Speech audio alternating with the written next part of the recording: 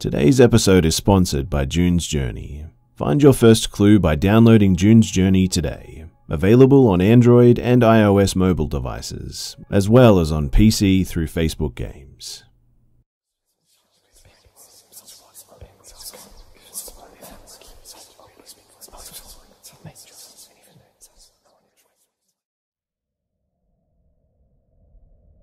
In the summer of 2012, I took a job as an expedition canoe guide on the boundary waters in northern Minnesota and southern Ontario. These are a massive wilderness area of lakes and land. I was working for the Boy Scouts and were based on Moose Lake on the US side. My job was to facilitate a fun and safe multi day trip, anywhere from 7 to 12 days out. Most of that summer was typical too, but one expedition in particular still haunts me as a result of what happened to us over the course of a, a few days. Here is the account in full. So my crew was on the younger side. There were nine of us in total, the maximum allowed in a group per our permit. There were six scouts, two adult advisors, scoutmasters, and myself. They had wanted to do a 200 miler, but didn't have the physical ability, so we had to amend the route. They were bummed out, so I decided to take them to a waterfall called Eddy Falls. It's pretty flat up there, so a waterfall is somewhat rare, but that decision would end up putting us in the path of, well, something. So we visited the falls and we camped near it. That evening, I had the boys working on a camp setup while the advisors worked on fire for the dinner. I was collecting firewood in a big tangle of down trees, brush, and bramble I could faintly hear the falls off to my left when, out of nowhere, I hear the most unearthly scream or roar that I'd ever heard. It stopped me dead in my tracks and I was frozen. The second scream was much closer, and the third even closer than that. I couldn't see anything due to the thickness of the brush, but whatever this was, it was coming directly at me. By the fourth scream, I could feel it in my chest. Uh, I got nauseous at this and involuntarily barked at it. I've never before or since heard that sound come out of my body, but the fifth scream almost physically hurt me, but it snapped me back to reality and I ran instantly back to the camp. My crew heard it too, but I had no idea what to tell them. I claimed that it might have been a boar, but there's no boar up here, and the advisors, they knew that I was lying, but didn't call my bluff. After dinner, they went to their tents and I retired to my hammock about 50 yards from camp. As a rule, I always set my hammock up at my head height, so about 6 feet up. I would use a tarp over my body and head to keep the morning dew off and the morning mosquitoes at bay too. But the tarp wasn't strung up, and that's important because it was just sort of loosely over me. It must have been around 3 or 4 in the morning when I was awakened by what sounded to me like a woman sobbing. Not an outright cry, but a sob. At the same time, I'm hearing something walking through the thick brush down past my feet. So I listen, totally still and quiet, as it crosses into camp. I could hear the change from the brush to the granite rock, but could still hear its heavy footfalls as it walked right through camp. And straight towards me, at this point, the tarp is still over my head, so I can't see a thing and I don't know what to do. In no time, though, whatever it was, it was standing right next to me. I could hear the breathing too, loud and sort of congested sounding. I could smell the musk and I could feel its enormous presence only inches from my body, just standing there. And it was time to make a decision. I suddenly threw the tarp off of my head, and as I did this, my left hand touched this thing in the chest. It was dark, but I could make out briefly a very large upright figure. The hair on it was long and coarse. The muscularity of this thing, though, was impressive. Bodybuilder status pectoral is what I touched, and it all happened in a second. But as soon as my hand made contact, it bolted back into the brush with immense speed for such thick debris. By the time that I got my headlamp on it, it was gone. Unfortunately, my crew had slept through it all, so I just read until the sun came up, and in the end, I decided not to mention it. The next day, we moved on a few miles toward base camp and camped on a small island. Campsites on the US side are designated by a fire pit and a, a grumper, which is a fiberglass toilet over a deep hole, really. We were just arriving and it was evening. One of the adult advisors needed to visit the grumper, so he walked towards it. About two minutes later, we heard him yelling and he came running back to the camp, still pulling his pants up, and said that he'd seen a, a gorilla run right in front of him. I asked if maybe it was a bear, and he said absolutely not, that he'd hunted bear for years and it was definitely not one. It was a monkey, and it was apparently about nine feet tall. At this height estimate, I'm imagining being back in my hammock. If I touched the chest and I was about six feet off the ground, that puts the head close to about nine feet up. So, whatever this thing was, was it stalking us? Was there more than one? The boys are definitely now scared, which meant that it was time to mitigate. I suggest a night paddle, nobody's sleeping anymore anyway, so we pack up and set out around 8pm and paddled by headlamp for several miles. My plan was to get back onto Moose Lake and camp very near to base so we could be the first crew off the water the following day. Moose Lake is connected to Newfoundland Lake by a small pinch and a channel of water that's not very deep or wide, but there's dark woods on both sides. We were right in the middle of the pinch when a rock the size of a basketball came flying out of the woods on the right side and only narrowly missed the bow of the canoe that I was steering. There's no cliff there either. This thing was forcefully thrown at us from the tree line, whatever it was. At this, we paddled like absolute demons. We paddled to the center of the Moose Lake, tied all three canoes together, and we sat out there all night. With the sunrise, we paddled to base camp, and at that, we just ended our expedition. They didn't want to talk about what happened, and to be honest, I was completely fine with that. They left for Oklahoma the next day, and that was that. After they left, I went to work a shift in the canoe yard helping crews offload.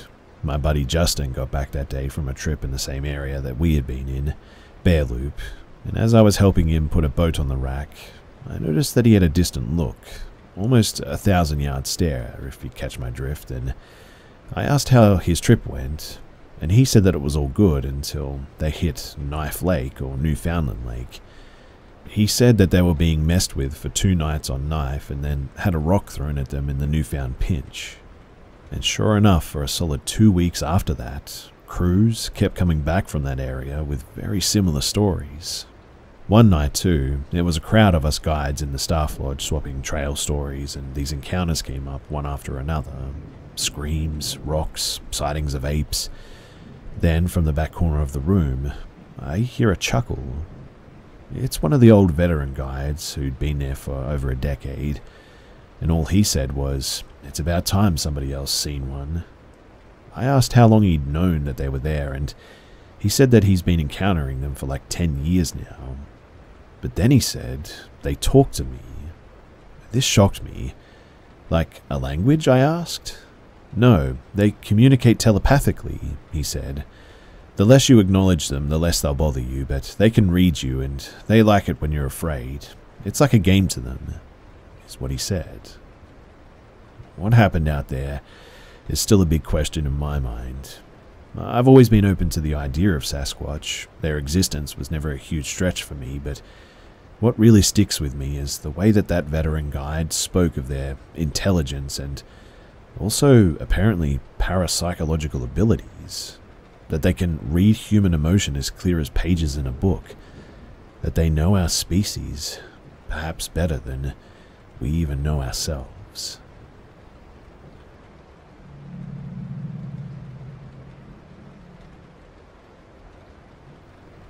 I'm a 25 year old male and I live in Utah. And, well, I guess I'm curious if any of you guys have seen anything like this before. Because I'm pretty sure that I saw a Wendigo or a Skinwalker.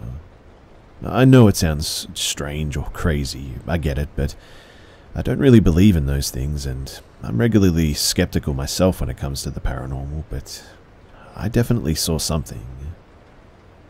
This happened to me when I was 17 and I was in high school and living with my parents. My house at the time was in a very small town. The backyard faced open empty fields and mountains for miles before you reached another civilization at all. My best friend lived next door as well and shared this field as our backyard in a way.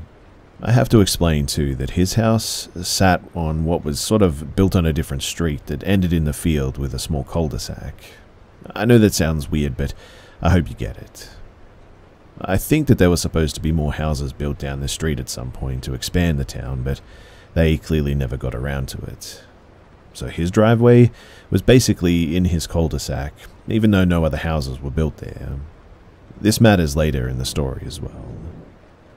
So, I used to stay the night at my friend's house a lot in high school because I didn't have the best relationship with my parents. Every once in a while, we would wake up to hear dragging and a weird sort of gargling sound from the back porch. His room was the basement room with the window well to the back porch. This would happen maybe a, a couple of times a month, but whenever we would gather the courage to check, nothing would ever be back there.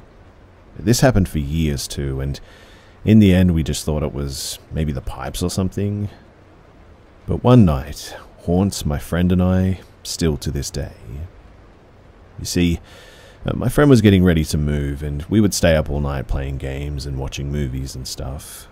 We decided to go on a, a, music drive to just vibe out, and we hopped in his truck with high beams, swung out of the driveway, turning them on towards the field to use the roundabout.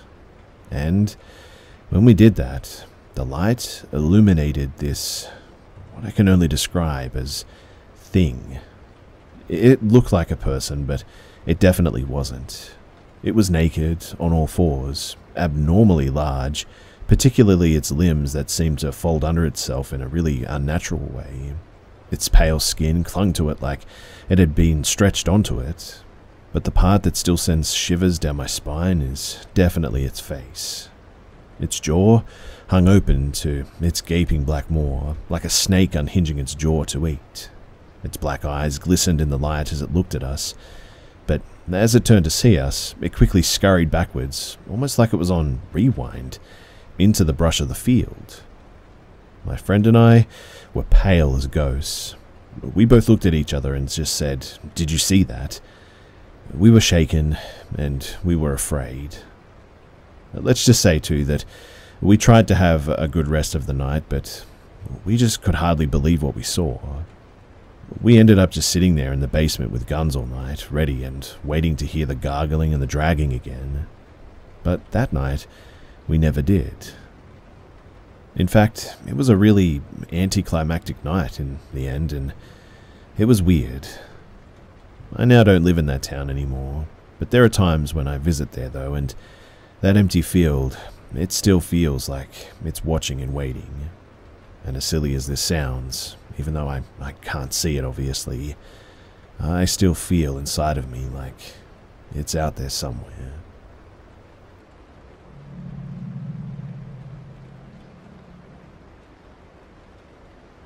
So I live in Tennessee, and I used to go fishing regularly with two other guys before I left the state to go to college this past August. One spot that we really like to fish or just hang out at is in this kind of uh, hidden road that leads to a dead end. The dead end is a, a super tiny parking lot, for a lack of a better term. Only about maybe five spaces at the max. And we would go for a hiking trail, and it sort of forces you to turn around at one point. For an idea of how hidden this spot is, actually, my friends and I have even thrown parties out there, and we've never been seen. We usually fish late at night there and also have a fire going since we're out super late anyway and it's in the middle of the woods. But one night, a bit past midnight, we had a few rods out along the water while we cooked some burgers on the fire. One friend decided that he wanted to try and toast his burger bun and everything, and the way Subway sort of toasts your sandwich is what he said. The bun got a bit too burned and was solid, so I told him to put whatever meat was left with the bait and to just toss the bun. It's totally dark, mind you, and we're right next to the water.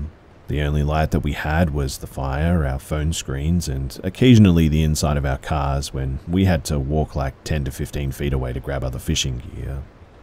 We did, however, have headlamps, but we didn't use them too much because the battery life would drain super quickly if we used them. These headlamps were really powerful though, but the only constant light, the fire, it was only illuminating so much of the water in front of us. Only like 5 feet at most, so Everything after that was pitch black, but still water. So after putting the remaining meat in the bait bucket and mixing it, I told them that I had to take a leak. Before I walked away, my friend asked what to do with the burnt bun, and we both told him to just throw it in the water and that the fish would take care of the rest. As I turned away, I was able to catch my friend throwing the bun into the darkness out of the corner of my eye, I walked back towards the entrance of the woods across the road behind us and did my business.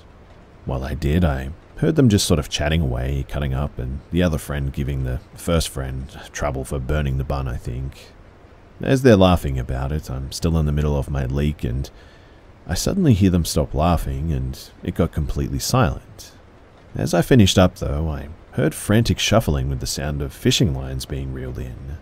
The friend who threw the bread was sort of packing up his gear. Those who fish understand packing up is the worst part, but the other friend, too, who carries, was now holding his gun and turned his headlamp and scanning the water in front of where they were set up. I obviously came back and asked him what was going on, and he quietly told me to help pack up our stuff and to kick the fire over into the water. Due to him being goofy normally, I asked no questions and I did what he said. I remember picking up a piece of a hamburger bun next to the fire and tossing it into the water right in front of me as I was heading back to my car after kicking the fire over. And we were out of there faster than any other time that we left that fishing spot, really. Keep in mind that we're way out in the sticks, so it took us a bit to get to the closest gas station, which we use as a last stop to get anything that we need before heading to this spot.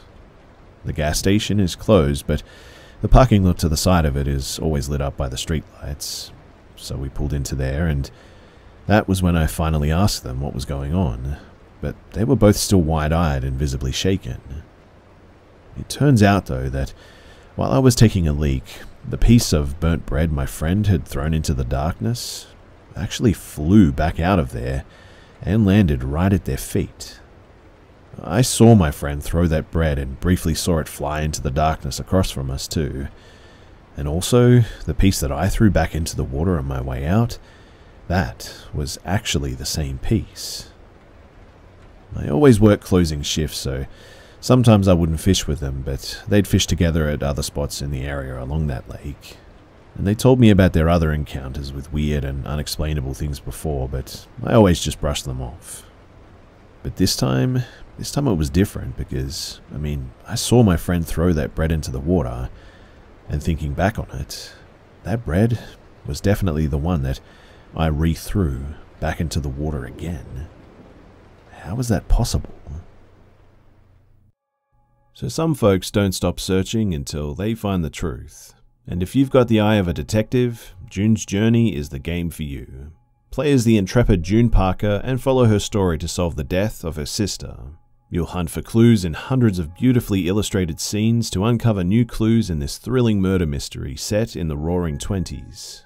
I've actually really enjoyed playing this game in my spare time. It sort of reminds me of those old school finder books where you have to look for a bunch of different items or people. But the really interesting thing about this particular game is that you're doing this in the midst of a murder mystery, so you have to find clues that assist with solving a crime in a much larger story.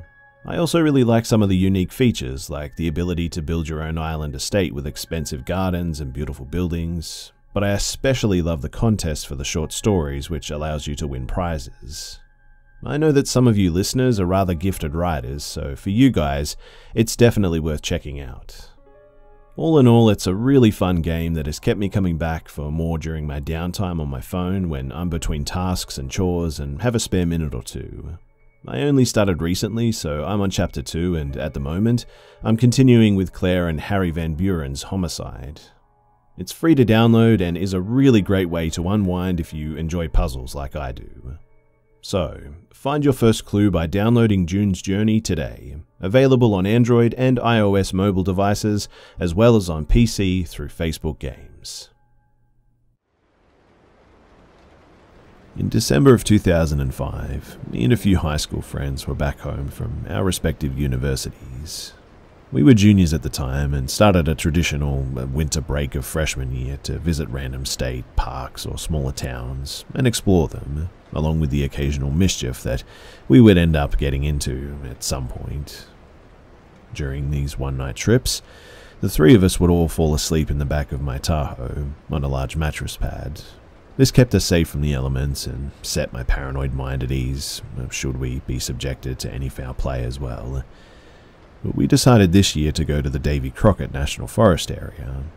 This area has many places that are extremely rural and desolate, which was exciting because we had previously found some interesting things and abandoned structures on our previous excursions. I'd used up my rest of my university printing credits to print detailed MapQuest pages for us, so that we could use them for navigation while we were visiting.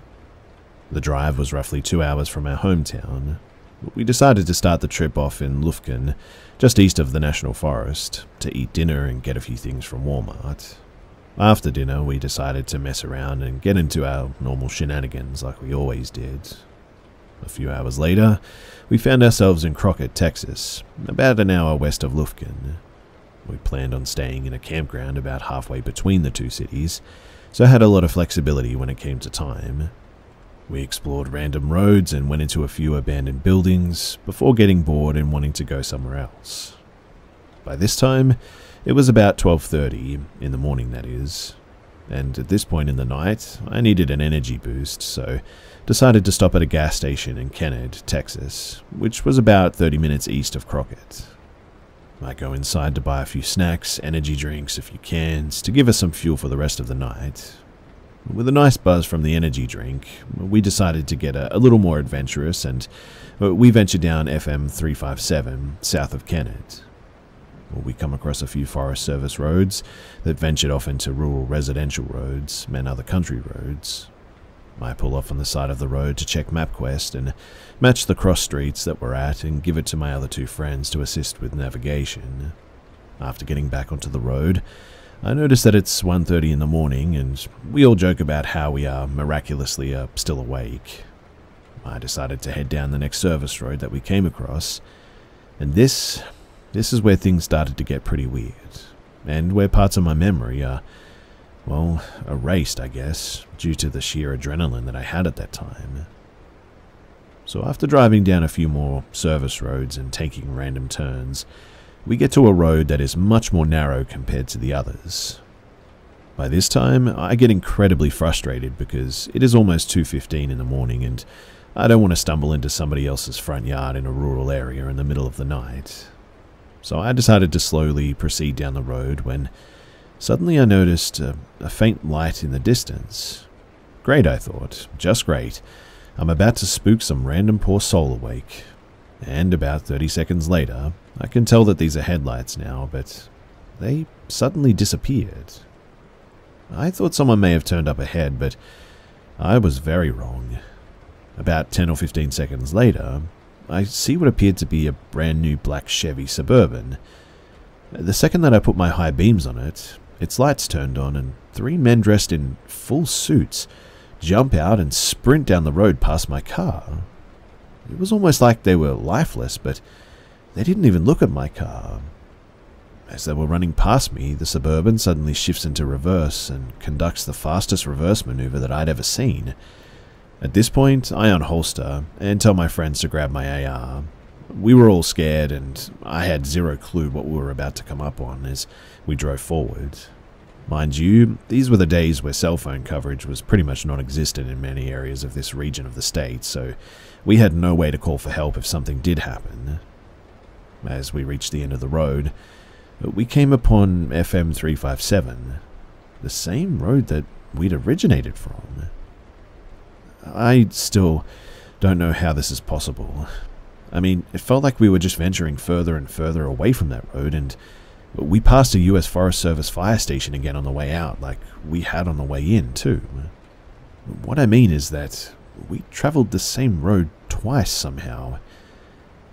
I recently checked Google Maps for any US Forest Service fire station off of FM 357 and I cannot find any current or past historical data on it. The county tax assessor doesn't have any listings either. In any case, we got back on FM 357 and we decided to book it to downtown Crockett as we didn't feel comfortable with sleeping in a campsite after what had just happened and I have since made sure to never venture down unknown roads without referencing GPS or maps at the very least.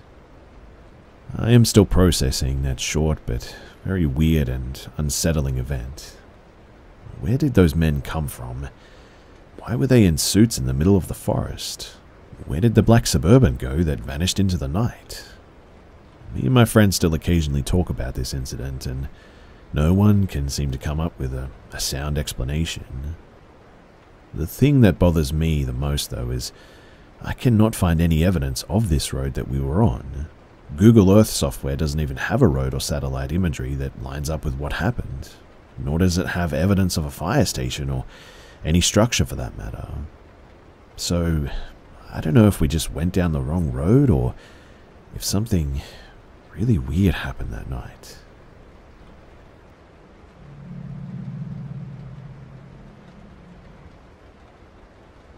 So, an old friend hit me up a little while ago, and I started reminiscing and remembered this. I believe that I've encountered the black eyed children over a decade ago in rural Appalachia. This has always low key disturbed me. Keeping in touch to this day, we've never brought it up again either. So we were at a local state park sort of place at between 9pm and 1am. I remember that we were parked alongside the woods and some picnic tables, it was pretty desolate. We were technically trespassing, 17 female and 17 male at that time, and what we were doing there you can probably leave to your imagination. But as our curfews were approaching and we were finishing up our time together, we experienced what I, we experienced what I can only describe as a, a very ominous feeling. He was in the driver's seat preparing to start the car and pull off. Uh, the car doesn't start though, we sort of laugh it off as it wasn't the first time and we just talked. When suddenly, to the right, passenger side where I was sitting, we see faint lights coming out of the woods.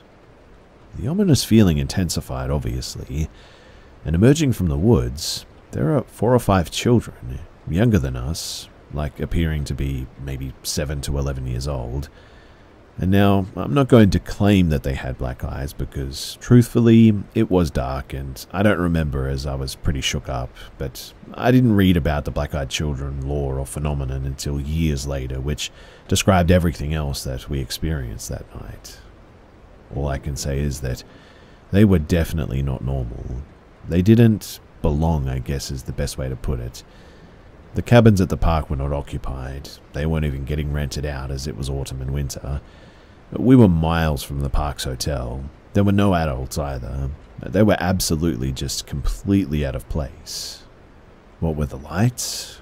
Well, I don't know, but the closest thing that I can compare them to are like glow sticks, as if they had opened a, a, package of those novelty glow sticks that included bracelets, necklaces, or wands sort of thing, but it wasn't like they were having fun or goofing off or anything. They just stopped, stood there, and sort of ominously stared at us. He tried asking what they were doing, if they were lost or where their parents were, but there was no response. The oldest looking male child, a bit heavyset with a grey hoodie on, approached the vehicle just in front where the passenger headlight corner would be. My friend started really freaking out at this moment. He locked the doors and was like, heck no, we gotta go. Eventually, thankfully, the car starts too, but the children, they don't move, and the kid stays put in front of the car. My friend eventually yells to the kid, I'm going to run you over. The boy slowly backs away, raises his arm, and points at us as we were leaving. We didn't look back, and we obviously never saw them again, but it is one of the weirdest nights that I've ever had.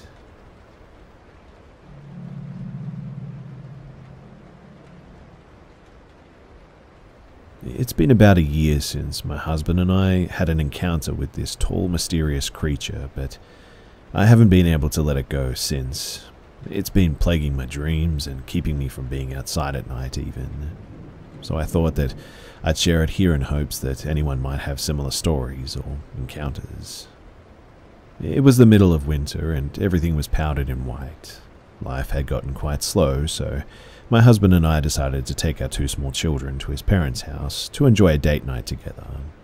My in laws only live four blocks away from us on the very bottom of a mountain in Utah County, so it wasn't a far drive. It was around four in the evening when we left our kids with my in laws. And we had only planned to pick up some sushi and head back home. But by the time that we were done and back at my in laws, it was around 5.45 in the evening. The sun was shining brightly, but was about to make its way out for the night. We gathered up the kids, put their coats on, and headed out to the car. My father in law and 19 year old brother in law walked out with us to say goodbye to the kids. As we were buckling them into their seats, we heard this horrendous noise. It sounded like a woman crying, a child laughing, and a bird sort of cawing all at once. My father in law looked at me and said, Are you hearing this? My husband said, Yeah, you heard that too? My brother in law mentioned that he could hear it too, and I just stood there, silent, trying to dissect whatever this sound was and where it was coming from. And then I heard my father in law say, Look on the mountain. He was pointing up about a hundred yards away, and I quickly grabbed the glasses from the top of my head for a better look. And there it was. Something big, completely black, and it was hunched over a bush. We stared and listened to its cry in the silence. I said, I'm getting my binoculars, to my father in law, and he turned to run to the house. We stared and listened to its cry in silence. I'm going to go and get my binoculars, said my father in law, and he turned to run to the house. The unbearable sound stopped, though, and the creature slowly stood upright to look at us. Whatever it was, it was long, skinny, all black, and it could have been maybe eight to nine feet tall. It had the body of a man, sort of, but disproportionately skinny and extremely long. Its arms were incredibly long, in fact. They definitely passed the knees, and it had no facial features. No nose, no eyes, just complete darkness. We collectively stood in silence, staring at each other, and at this thing, and about 15 seconds had passed. It began to quickly float up the mountain. I'm not talking float as in was so fast that you couldn't see its legs. I'm talking literally floating up the mountain, like it was levitating. My husband describes it was about 20 miles per hour in speed, but it wasn't long before whatever it was completely dissipated into the tip of the mountain. I will never forget that day, and I have not seen anything like it since.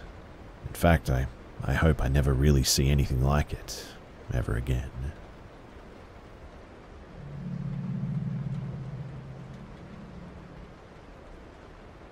So, my wife and I recently purchased our first home after the birth of our daughter. Everything was as you would expect the first few months to be as well painting, decorating, renovating, basking in our newfound slice of the American dream. You get the idea. Unusual things started happening, though, several months ago. One day, as I was getting home from after work, I passed by a strange truck two or three houses down from ours. I say strange for a few reasons, too. I mean, we know literally everyone in our small neighborhood, and I'd never seen this truck or person before. There's no reason for through traffic to come down our street, and the truck was also driving very slowly, like put it in drive but don't press on the gas slowly. As I pulled into the driveway, the truck flipped a U turn and came back towards my house. Getting out of my car, the truck crawled by and the driver stared daggers at me as he passed, and then just sped off. I don't like to judge based on appearances, and I like to think that I don't scare easily, but something about this guy's eyes just gave me a really bad feeling. Now, obviously, this was weird. I mentioned what happened to my wife, telling her that we should be more mindful about security. When I told her the type of truck, my wife said that that same truck drove by and the guy stared at me when I got home this afternoon. I thought that he was just being creepy and checking me out. I tried to tease her a bit, you know, to lighten the mood up, calling her cocky for assuming any guy driving by was checking her out. I just didn't want to freak her out, but I was definitely freaked out myself. Anyway, we saw the truck a few more times over the next couple of weeks, either driving by slowly or parked down the block and facing our yard. But one day, the truck stopped driving by and we haven't seen it since. I sort of dismissed the whole thing as being just paranoid. But then, other things started happening. In the past month or so, my wife and I have been hearing tapping on the windows at the front of our house at night. It happened two or three times to each of us separately, always around 10 or 11 pm, and always a soft but distinct tapping. It sounds like knocking with a single knuckle, I guess, on the metal part of the screen door. The first time that my wife and I heard the tapping together was last weekend. We were in the front room playing with our daughter around maybe 9:30, just about to settle her down for bed, and our front room has a, a large, almost floor-to-ceiling window running the length of the wall next to the front door, which faces the street. We're all sitting on the floor with our backs to the window, reading our daughter a book when we heard it. Tapping. Now, our house is older, creaks and cracks are not uncommon, but this sound was so distinctly intentional that my wife and I immediately looked at each other and bolted up out of the room. I had my wife and daughter lock themselves in a back room while I turned on all the lights, and I also did a sweep around the outside of the house. Of course, I didn't see anything and was ready to dismiss the whole thing as just paranoia over something that probably had an innocent explanation. That is, until last night. So around 9.45, we heard our daughter making noise in the baby monitor. I waited a few minutes to see if she would settle down, but when it became clear that she wouldn't, uh, I got up to put her back to sleep. The layout of the room is important to visualize this next part, so bear with me. So this room is on the side of our house, but the exterior wall just out a bit in a sort of L shape, and the corner of this L is made up of windows. If you're standing in the door to the room, you're directly across from these windows in one corner, and there's a rocking chair in the other corner pointed towards the front of the house.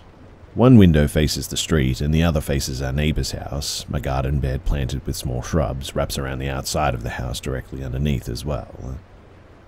So I was sitting in the chair, getting my daughter to settle down again. I had a lamp on, so the room was softly lit. Once she fell asleep, I stood up to put her in her crib when something caught my eye.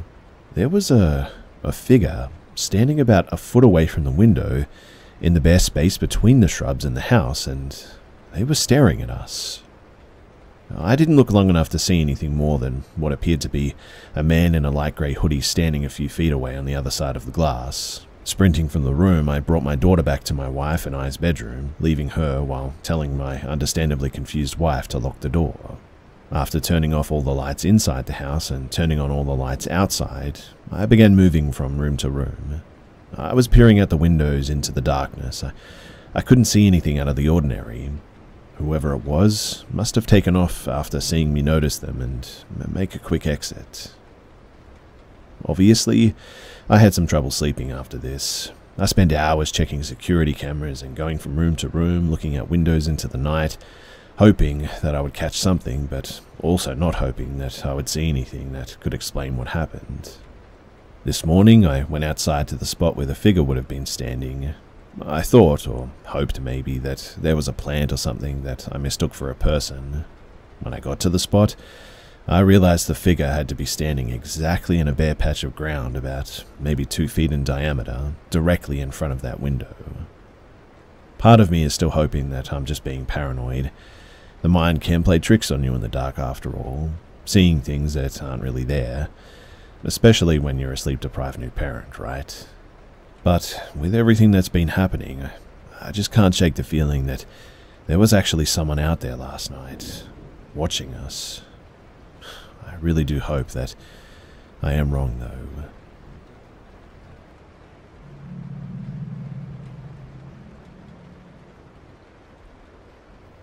It's taken me years to work up the courage to post this story to strangers because, well, the events that took place all those years ago left me puzzled and, frankly, disturbed. It's perhaps best if I provide some background context because it may help strengthen my story and people will hopefully believe me as well. I know that a lot of people claim to have a, a, true story about strange encounters in the woods, and I don't want people to accuse me of making this all up. I swear to you that this really did happen. It's not supernatural, it took place during the daytime, and the monster is very much human. So, when I was about 13 or maybe 14 years old, back in 2003 to 2004, I went on a camping trip with my mother and stepfather and my four younger siblings. We were not a, a very well off family. In fact, we were pretty poor to be honest. I never went on holidays abroad, and we would always just go camping, usually to the same campsite, which felt like miles away, but was in reality less than 10 miles from the city where we lived. We had been there a few times previously, and we knew the campsite and the surrounding area fairly well. It was, all in all, a pretty safe and familiar place. On this occasion, everything was going as normal. Truthfully, I sort of hated camping. My parents would always argue too when it came to putting up the tent. It was pretty boring being in the woods, and I would normally be the one entertaining my siblings. I hated not having electricity, access to proper toilets and showers, etc. Uh, it could be quite fun looking back, and I do treasure the memories that I have with my stepdad who is no longer with us.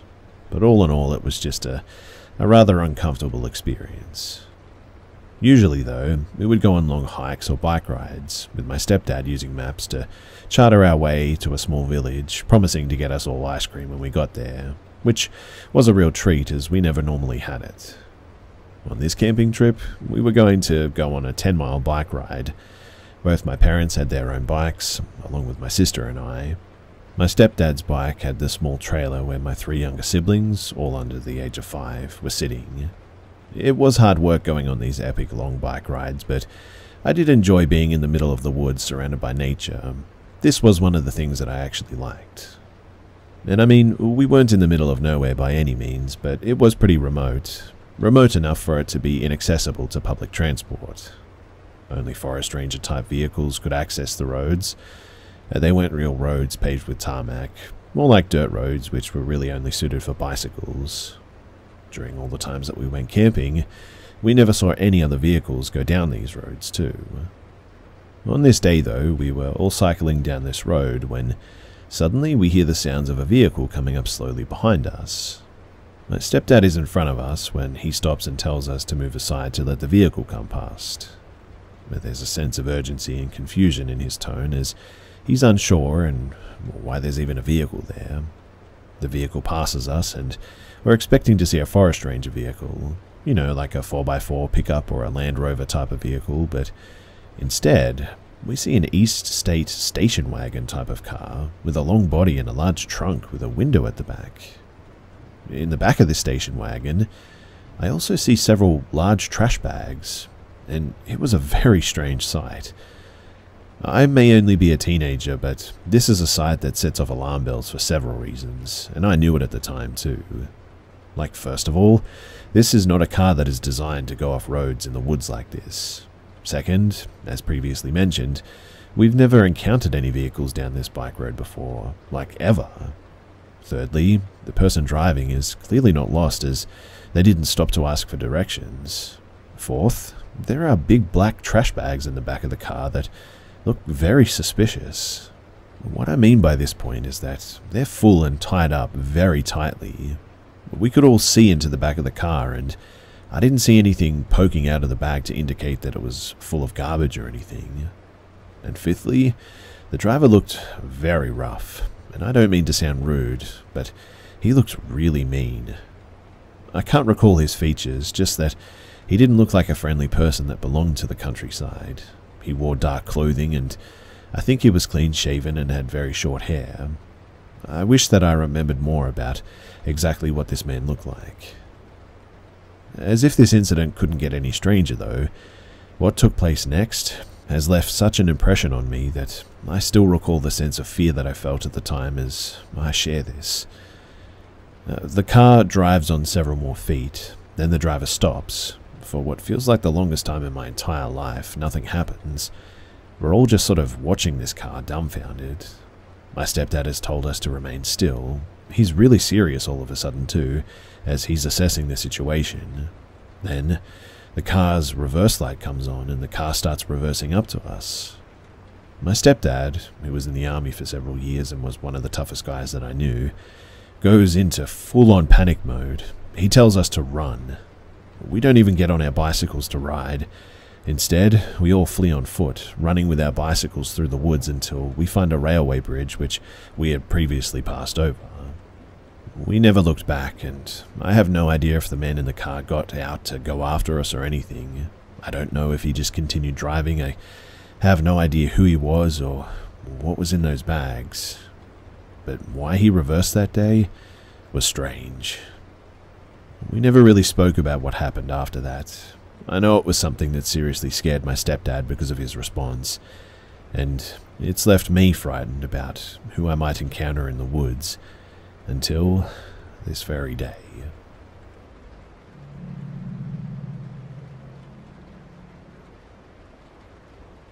So I live in Virginia in a pretty rural area.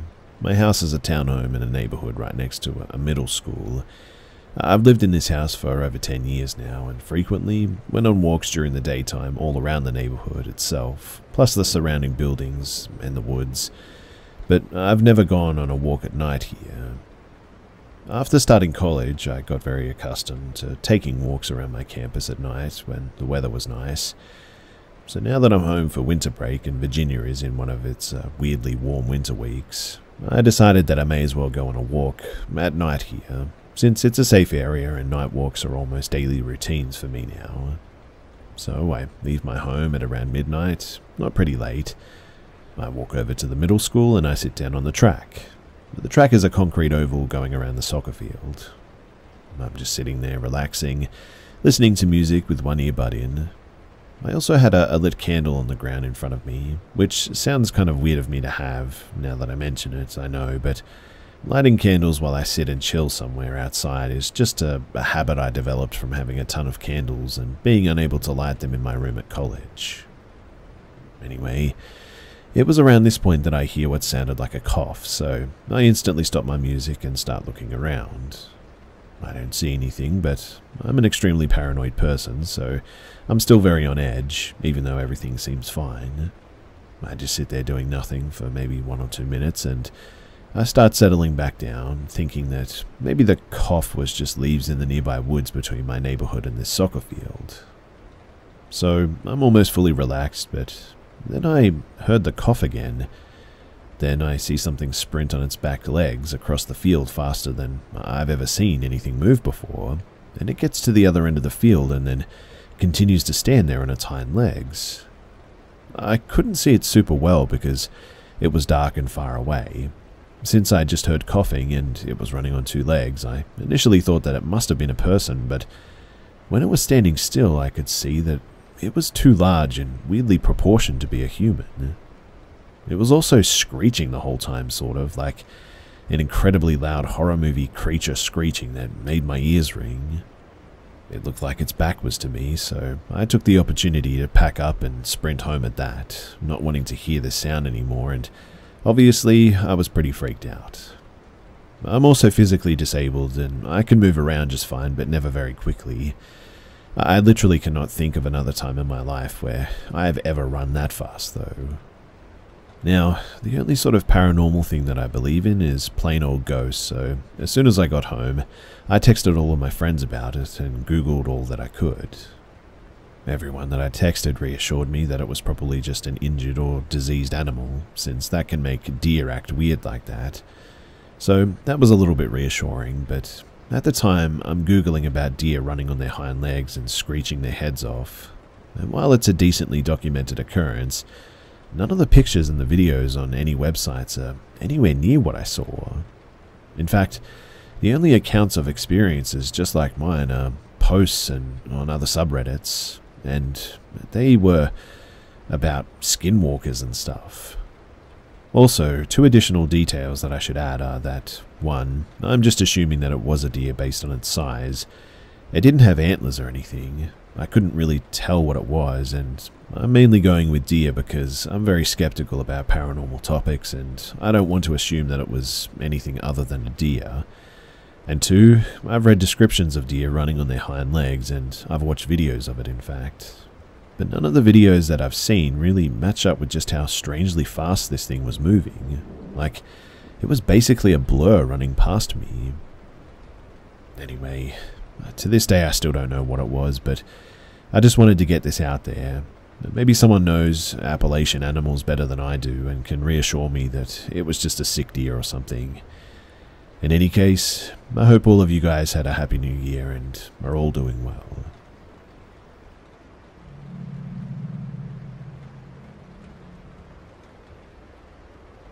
So I'm not really sure if this would be considered a, a, paranormal story per se, but nothing else really makes sense. Let me explain. My family would go camping every chance that we got, and the place that we'd always go had no natural predators, at least nothing bigger than a fox. My dad specifically chose this spot so us kids, me and my two siblings, could sort of frolic through the woods without having to worry too much. This particular trip was during the May long weekend.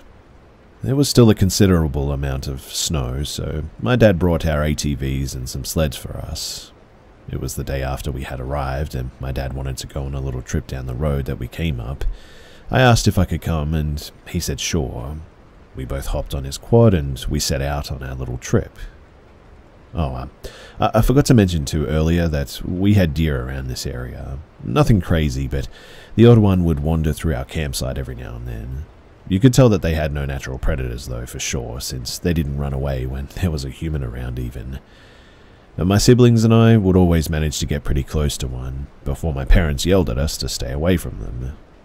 Anyway, my dad and I were a few miles away from the campsite when we rounded a corner and came across one of the most gruesome sights that I've ever seen in my entire life. On the side of the road were the pieces of a deer, at least I think it was one. There was blood absolutely everywhere, Worse still, there was steam coming from the remains, which meant that this was a recent kill. My dad is usually a pretty calm guy, not much can really rattle him, but I could tell that this freaked him out a lot.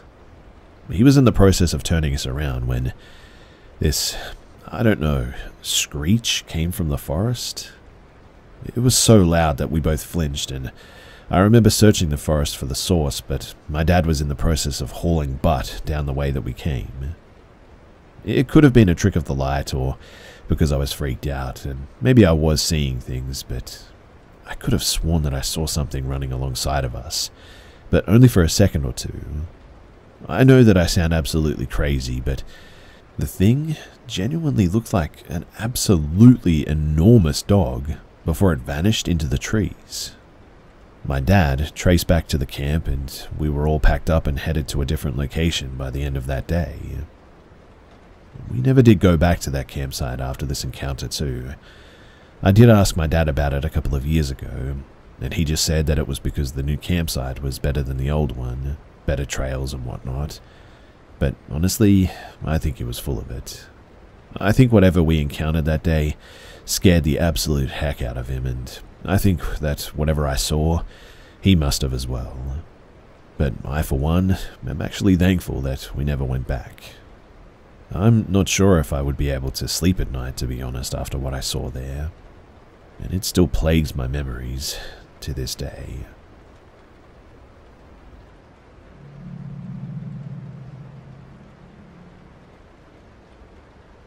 So I sleep in the basement of um, a, a one story house out in the country. I've never seen or heard anything unexplainable until, out of nowhere, weird noises could be heard outside of our house one night. About three years ago, uh, the first noises were heard by both me and my mum. We had let the dog out around 12 at night and were letting him back in and talking when we heard a sound that no animal could make. It sounded like a, a large cat that had its throat slit, It was like a, a gargling meow, and we both immediately stopped talking and looking outside to see if there was anything just outside, because that's where it sounded like it was coming from, just beyond where our house's lights could reach, but we couldn't see anything. It was like something just letting you know that it's there, then not doing anything or making another sound. The next incident happened a couple of months after when I was sleeping outside my room since I didn't have a bed at the time and the futon couldn't fit through my doorway. It was late at night, I was watching TV and I heard what sounded like someone moving stuff around just outside of my laundry room. The layout of my basement is pretty open, so from where I was laying, I could see almost everything in the basement, except the laundry room and another open area at the bottom of the stairs. So I honestly thought that someone might have come down to get something from the fridge or the freezer, so I just went back to watching TV. But a couple of seconds later, I heard someone walking around barefoot, and since the floor is concrete, you can hear it pretty clearly so I sat up and thought that somebody was going to turn the corner, but then the walking turned into a full on sprint. And that was when it happened. I watched as the footsteps ran past in front of me, but nobody was there. They disappeared into our unfinished bathroom and stopped instantly, and when I say instantly, I mean no slowdown in the footsteps, just an abrupt stop. My dog used to sleep in the bathroom, but after that, he refused to even come downstairs. After that, I had my first and last sleep paralysis episode too, where I heard the same footsteps before a pitch black person on all fours crawled at me and got right in my face before disappearing under the futon. And the final incident happened probably three or four months later when I was finally back in my room. I was laying in bed when I heard those footsteps again, but it sounded like they were running around sort of aimlessly. After a good minute of this, they stopped in front of my door and it went quiet, but only for a few seconds before my doorknob began to jiggle back and forth. I have never had that sense of dread ever in my life, too, and I have never been that scared before. I ran to my door, grabbed the knob, and sat with my back against the door and my feet pushing against the wall opposite. I even looked under the door, and I confirmed that there was nothing there. I probably sat there for 30 minutes before I got the courage to move, and throughout those 30 minutes, I kept looking under the door, and there was nothing. I slept with a, steel bar that night because I was absolutely convinced that there was someone in our house. Since that night, nothing major has happened, but sometimes when I come back into my room and close the door, I'll turn around and my door, for whatever reason, will be open again.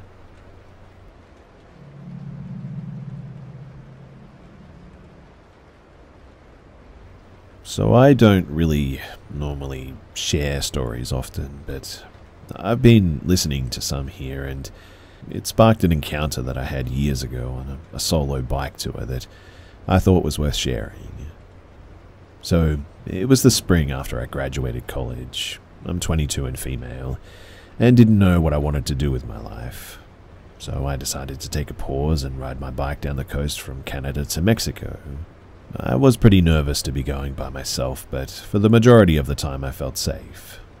Halfway through or so, I got pretty comfortable with sleeping alone in fairly empty campsites and parks, etc. There were even some stretches on the trip that I rode with other bike tourists, and this one encounter, however, brought my guard back up for the remainder for sure. So I was halfway down the Oregon coast and was a mile or so out from the campground that I had planned to stay for the night. There was this notable yellow vintage Ferrari, I think it was, car that had passed me headed in the opposite direction. When I pulled into the campground, I stopped at the information board to look at the map and the fees. As I'm sitting there, I see the yellow car coming down the road and stops where I am. This older guy in his late, eh, maybe 50s or early 60s, gets out and starts looking at the board with me. He's friendly and seems completely normal, charismatic even. He's asking me about my trip and starts mentioning how he's from the area but has never checked out this campground. At this point, I'm still pretty naive, there's plenty of nice people that I've met on the trip that chat me up and ask me about the bike tour. He's talking to me and getting closer, and this part is what starts to make me a bit uneasy. He would repeatedly reach out his hand to shake mine like he was about to leave, but every time he shook my hand, he would grab my forearm with his other hand and do this weird sort of gasp laugh thing. The way that he did it looked absolutely insane, and the arm grasp was very firm. It immediately sent shivers down my spine. But then he suddenly dives into another topic and repeats this freaky handshake maybe two more times in between. I realize then that I'm completely out of sight from anyone in the campground, have no phone service, and I'm now very close to him and his open car door. There's a knot in my stomach, I'm on the verge of tears and my voice is shaking with every response. At the time, I didn't know why, but something just felt very off about him. I finally speak up loud, hoping somebody can hear me, and tell him that I have to get going, run to my bike, and speed to the campground. When I get there, I don't even try to find the hike and bike spots and just throw tent down directly across from the camp host. And thankfully, I, I didn't see him after that. Again, I had a lot of encounters with random strangers at this point, but none of them terrified me like this one did. I fought with the idea that he was probably just an overly friendly guy, but the fact that he would repeatedly grab my arm like that and laugh like that was frightening. All in all, most people that I met were sweet, and it made me very trusting of others. And even if he was harmless, his actions were a good reminder that I had to be mindful of my vulnerable situation, and I had to be much more alert.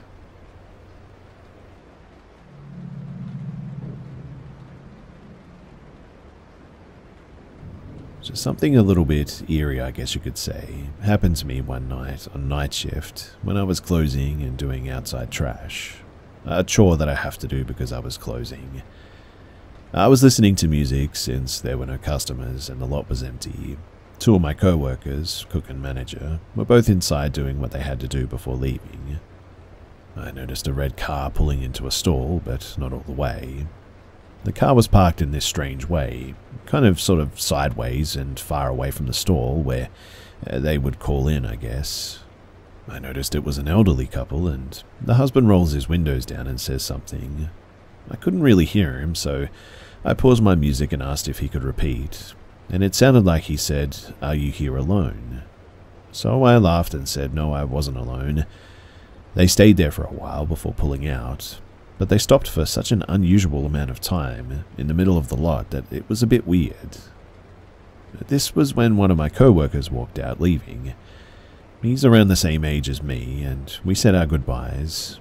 As I continued doing the trash, I noticed the car had went back to the main road in front of my workplace, but only to turn back into the lot again, in a sort of slow and unusual way. I started to freak out a bit, and I tried to hurry at this point. I noticed the car was gone for a while, so I thought that they left. So I was heading back to the dumpster, the big one, to throw away the trash bags, when I saw it. The red car was right behind the dumpster at the stop sign. It was parked there, and this was when I quickly called my brother and I put him on speaker. I talked so loudly that anyone could hear me, and I was honestly on the verge of tears. Once I hung up, though, the car had finally started to move slowly, paused for a moment again, then finally left for good. I don't know what really happened, but I just felt like I was being stalked that night. I don't know if they had good intentions or not, but I realized that my coworker had stayed in his truck with the engine running the whole time.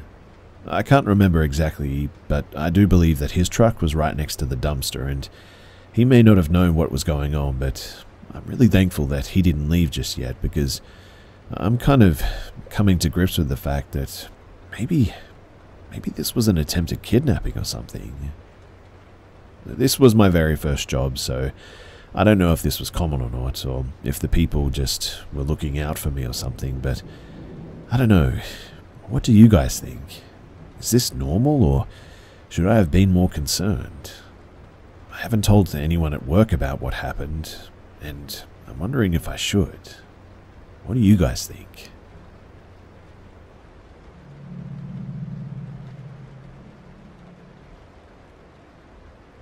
It all started about a month ago when a man started banging on my door at 6 at night yelling for Mike to come out, that he needs to see him and get cigarettes.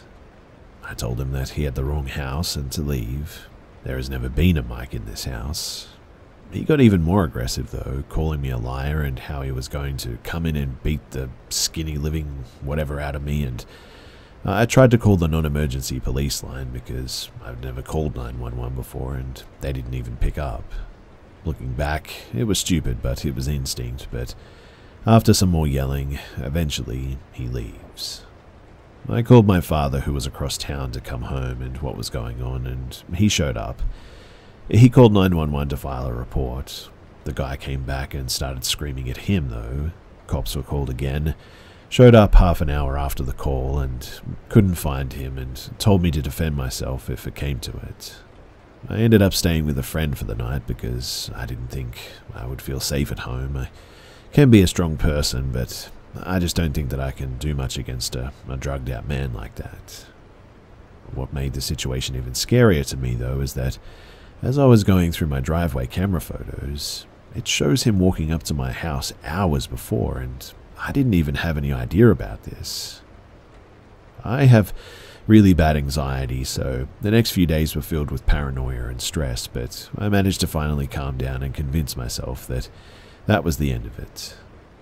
Come that weekend, my father went on a trip with his girlfriend, so I was left alone for a couple of days. I just put on a scary movie when I heard screaming again and a loud bang. I pull out my camera and see that he's back, pacing back and forth on the sidewalk and has thrown over our trash can. Again, this guy's screaming for Mike, and I call 911 and they show up within minutes this time and are able to stop him down the street. They tell me that there's really nothing that they can do since he hasn't committed a crime yet, but if he comes back to call them again and then they'll have more reason to hold him.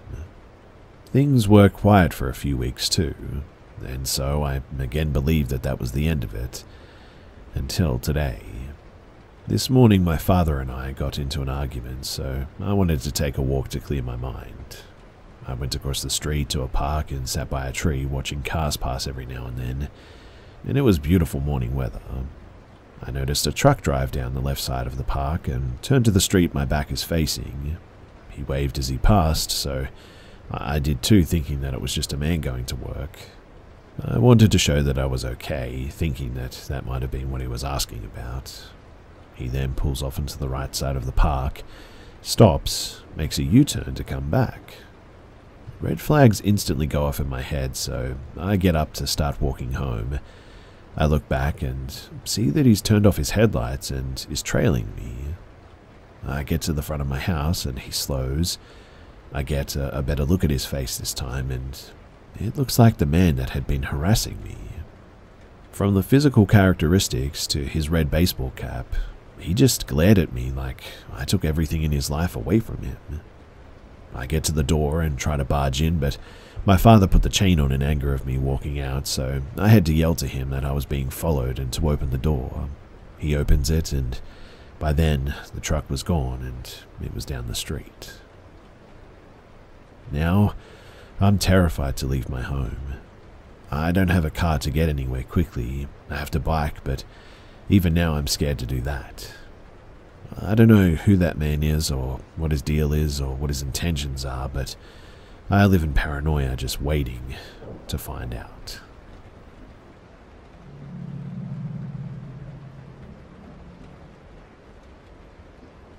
So I'll need to explain some context here, so bear with me.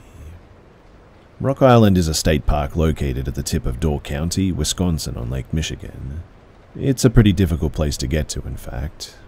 To get to the island, you have to take a car ferry from Ellison Bay to Washington Island, drive across Washington Island to Jackson Harbor, then take a pedestrian only ferry to Rock Island. No vehicles or bikes are allowed on Rock Island. Now, even though the island is relatively small at about 975 acres, it has had an interesting history. In the early 1600s, it was inhabited by a tribe of Native Americans as well as a small fishing village of European settlers. The two groups They didn't trust each other, and did have a few bad encounters that almost led to violence, but for the most part they lived peacefully together on the island. By the 1640s, the Native Americans had migrated to other parts of Wisconsin. Shortly after they had left the island, some settlers from the fishing village reported seeing a new group of people on the island. They seemed to be more white settlers, but they wore strange clothes and kept to themselves. No one from the fishing village was ever able to talk to one of these new settlers or even find where they were living. It was around this time, too, that strange things started to happen in the village. Several animals, it's not mentioned what they were, but maybe it was pigs or chickens kept by the settlers, were found slaughtered in the village and seemed to have been used to make markings in blood on some of the buildings in the village. On a different night, a building used for preserving meat burned down, the villagers felt that these things must have been done by these new people on the island, and they intended to find them, but after a thorough search of the island, including the wooded inland area, they never found a, a single person. These strange occurrences seemed to stop soon after the search, and none of the other settlers were ever seen again as well. In 1836, the lighthouse that was built on the northern part of the island, after construction was finished, the lighthouse was inspected and it was reported back that the material of which the lighthouse and the dwelling are made are of the best quality and that the work is done in a substantive and workmanlike manner. David E. Corbin was appointed the first keeper of the light on December 19, 1837. Only three years later, in 1840, despite the apparent quality of the construction of the lighthouse, David Corbin started to complain that the plaster started to fall off the building, and some sort of liquid would ooze through the cracks, leaving the house constantly damp. Corbin was completely alone most of the time at the lighthouse, and some have said when visiting him that he would stare at a certain wall and sometimes spoke vaguely of the other visitors. In 1845, after eight years of relative solitude at the lighthouse, an inspector visited the lighthouse keeper and determined that while Corbin was fulfilling his duties, he was acting strange. The official report says that the inspector ordered Corbin to take a 25 day leave of absence to find a wife to live with him at the lighthouse. However, some think that the inspector was startled by Corbin's mental state, caused by years of solitude, and thought that it would be best that he spend some time away from the island altogether. In 1852, Corbin reportedly fell ill and died that December, in that same lighthouse. He was buried in a small cemetery just south of the lighthouse. Now, the next lighthouse keeper also reported the surprisingly quick deterioration of the lighthouse. Some friends that had visited the new keeper said that he would talk of seeing strange things in the house at night, but he wouldn't elaborate on what he had seen. In 1858, after only 22 years of service, the original lighthouse was torn down and a new one was built. From that point on, the lighthouse keepers were required to have an assistant keeper or a family with them at the lighthouse. No strange occurrences were further reported in the lighthouse logbook, outside of strong storms and occasional shipwrecks, except on January 20, 1876. The keeper at the time, named Betts, reported that he saw two men attempting to row to the mainland from Washington Island, he wrote that a, a terrible storm came up shortly after their departure, and they never made it to their destination. Over three months later, on May 3rd of 1876, Betts wrote that the two men were lost last January, have since been seen several times, once from Cana Lighthouse and once from Jacksonport. The men are apparently frozen stiff and sitting upright in the boat among a mass of ice. At last account, they were still adrift, there's not much hope that they'll be found and buried.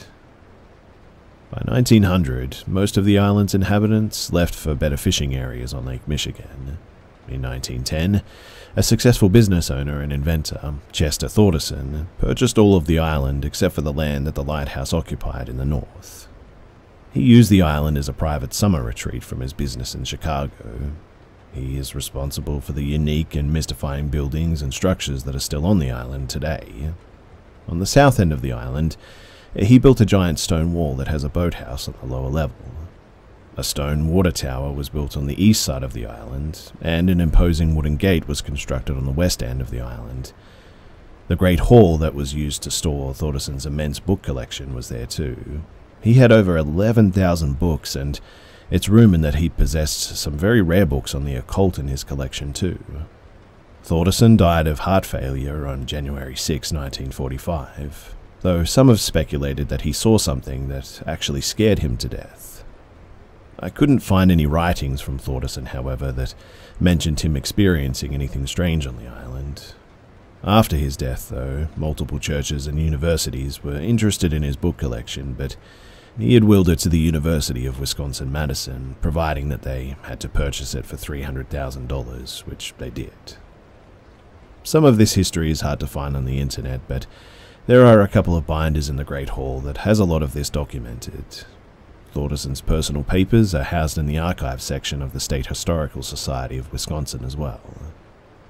Now, all of this history I gave is just to provide a little bit of context for experiences that I have had, directly or indirectly, on Rock Island.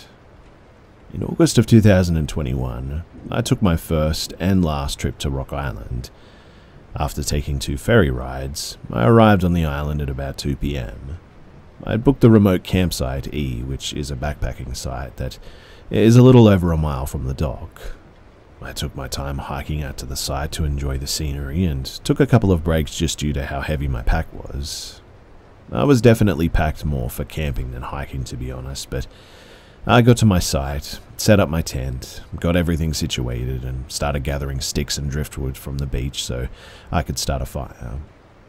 On my third trip back from the beach, before I got back to my campsite, I heard a single, sort of high pitched squeal noise coming from the forest. It didn't sound close, but it was such an unusual sound that I stopped in my tracks and waited for a good 30 seconds, waiting to see if it would happen again. It didn't, so I continued back to my site, and when I got back, I began working on getting a fire started. The remote camping sites on Rock Island are pretty well spaced out. Sites C, D, and E are grouped together, but there's probably a hundred yards between each site. There's not a real trail connecting the three sites directly, but enough people have walked along the ridge between the three sites that there's an obvious path now. As I was setting some sticks up on my fire ring, Something caught my eye, though, and I looked up. Fairly far away, it looked like it might have been at maybe Site D or a little further, was a person running in my direction. My first thought was, well, that's odd, because, like I said, it's not even really a trail that they were on.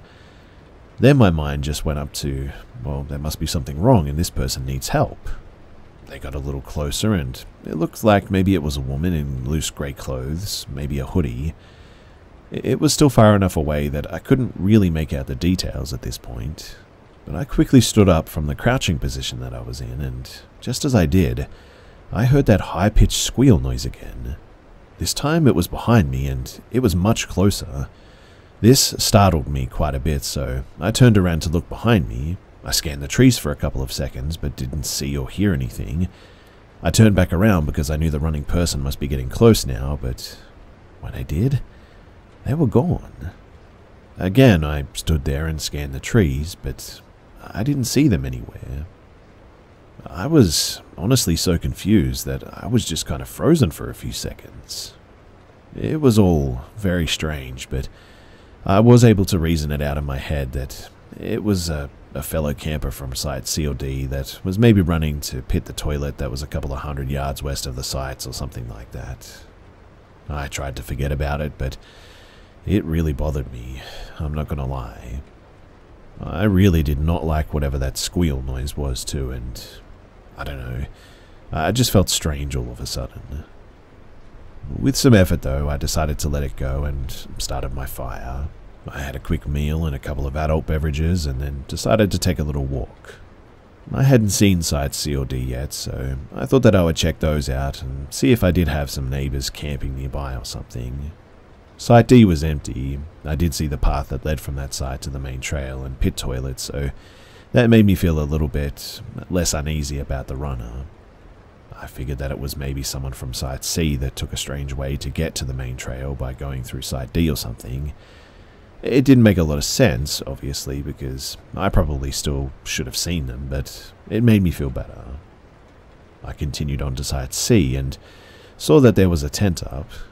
I really didn't want to bother anyone, but I just thought maybe I would go over with the excuse that I would introduce myself as a camping neighbour from Site E and see if anyone looked like they might have been the person running earlier. I came up on the site and there was a couple sitting at the picnic table. Neither of them looked like they would have been the person that I saw running, but I introduced myself nevertheless and they introduced themselves too. They were probably in their mid 30s and they were really nice too. Both of them seemed to be pretty drunk, but not quite off their face yet, I guess you could say. Uh, I didn't ask about the runner in the end or the squealing noises because I thought that that might be weird. And in the end, I just wished them a good night and I walked back to my tent. When I got back, I had a cigar and a few more drinks. It got dark and it started as a perfect night. The sky was clear and I was just staring up and looking at the millions of stars, and I felt better about everything from earlier and felt a little bit stupid about the whole thing and decided in the end to just get some sleep.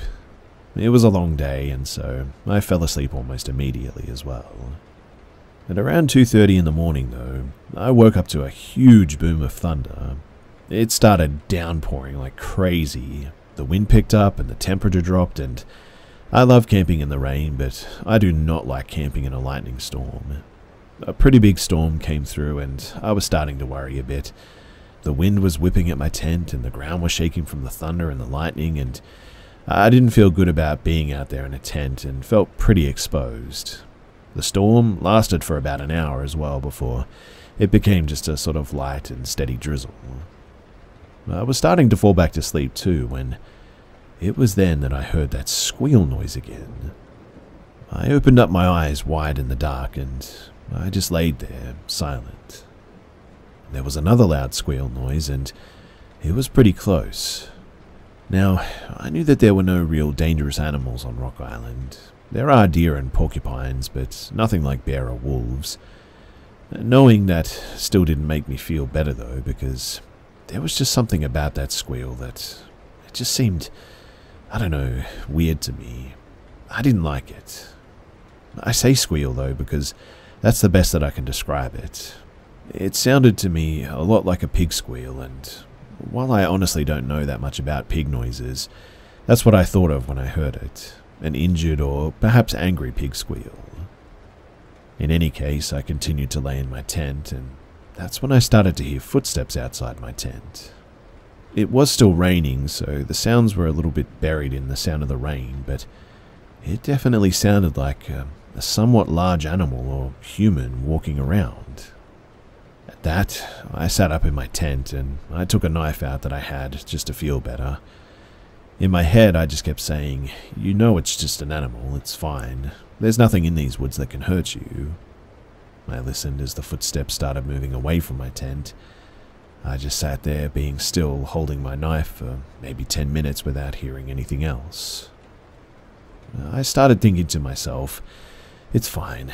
It's just an animal. You're being stupid and you just need to get some sleep. I was just about to lay back down, too, when there was a very loud squeal, and this time it was right outside of my tent. It felt like my heart just stopped and a shiver went down my spine.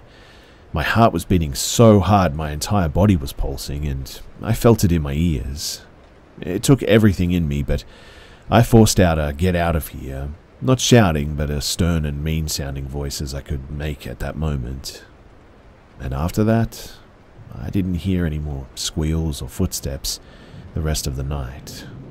But I also didn't get any sleep. I just sat there in my tent for maybe an hour before I laid down. Eventually, the rain stopped, and I kept laying there until the sun came up, just listening.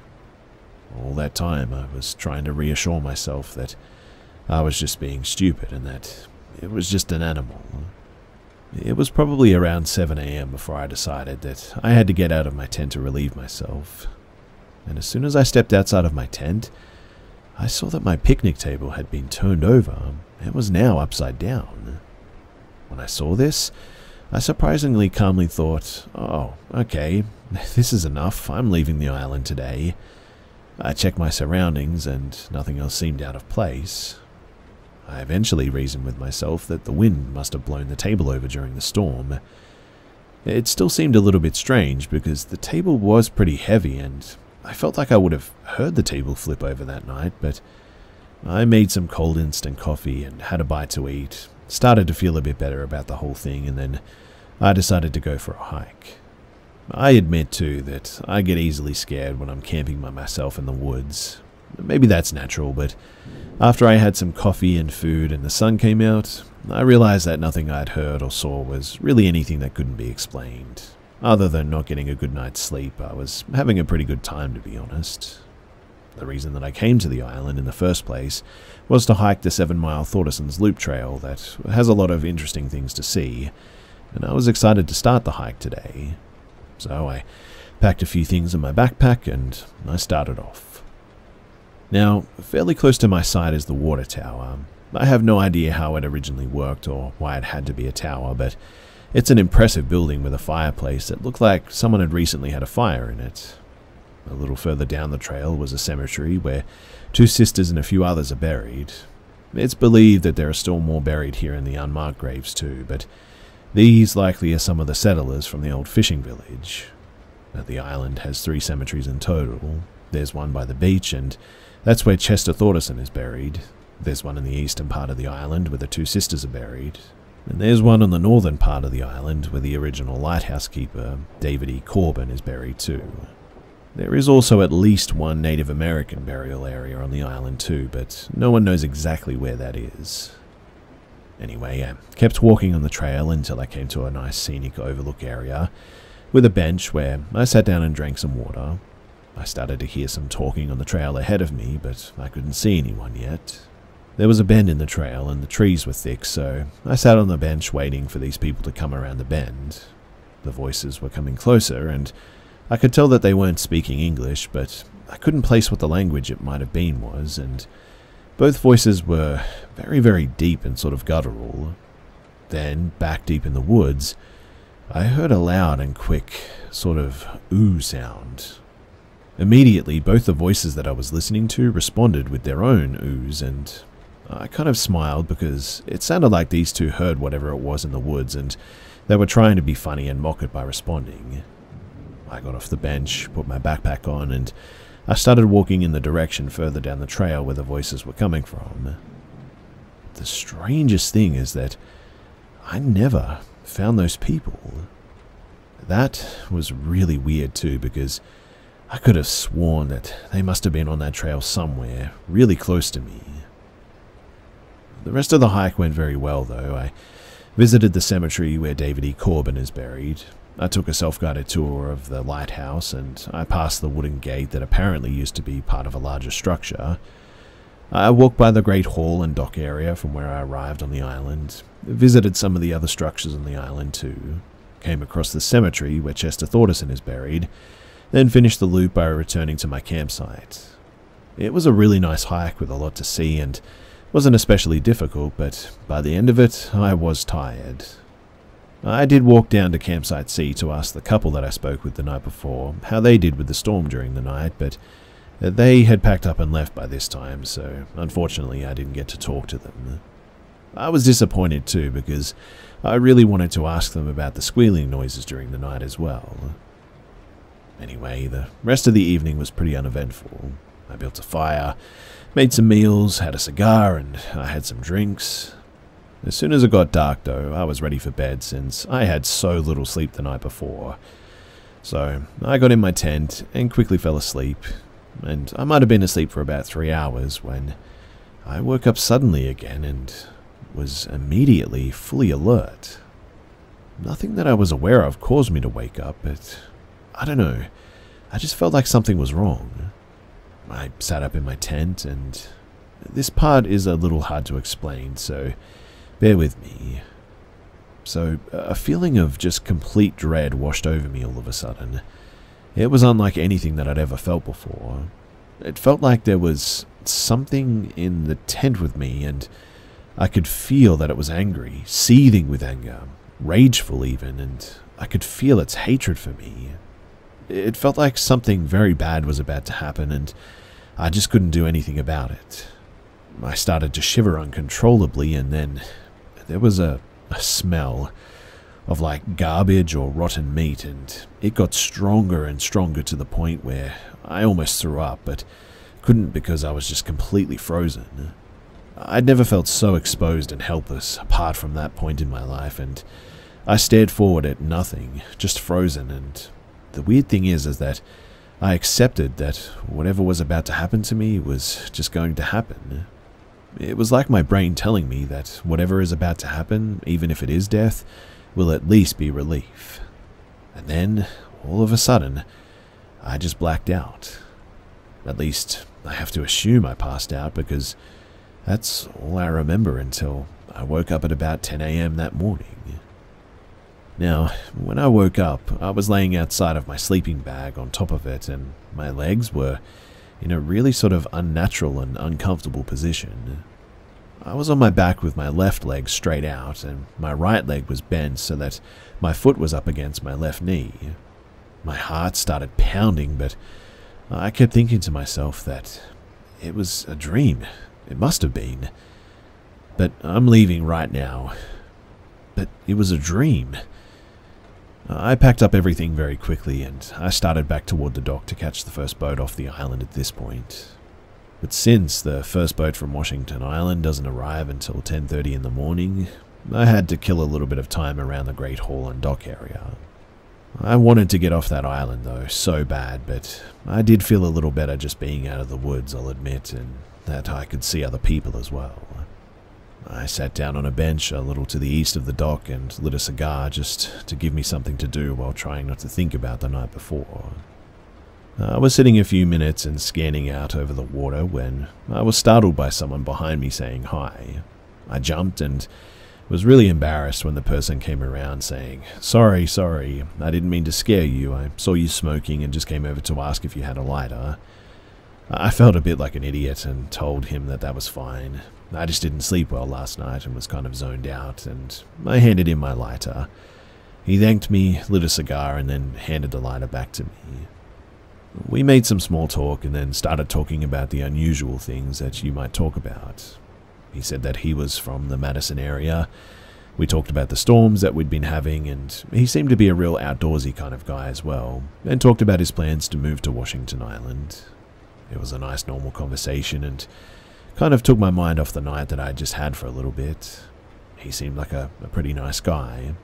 Then, naturally, he asked me what site I'd been staying at, I told him that I was staying at Site E the last two nights, and he said that he usually books that site, but I must have reserved it before him. He said that he had booked Site D the last two nights, and I was surprised by this because no tent or anything was at Site D the two times that I walked past the site.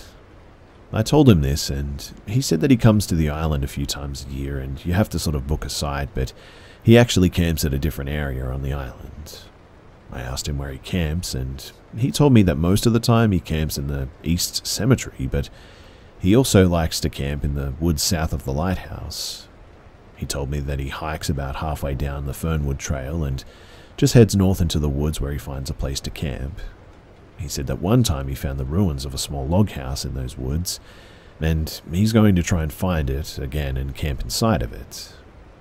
At this point, I started to change my opinion about this guy, and I wanted to change the subject, but then he asked me if I heard the screeches in the woods, and at that, I took a second to reply and knew exactly what he was talking about.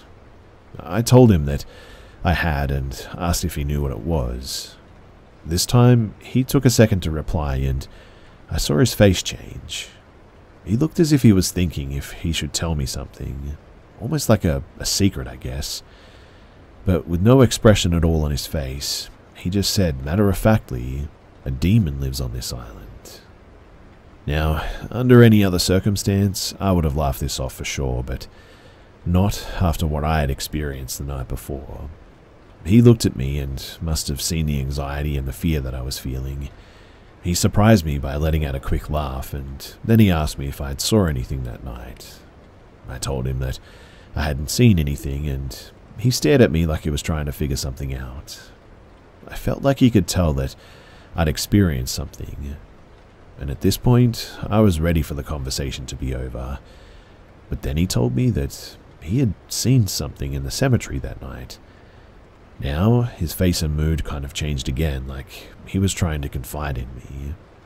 I really did not want to ask the question, but I knew that he wanted me to ask it, so I asked him what he saw in the cemetery, but my voice was shaky.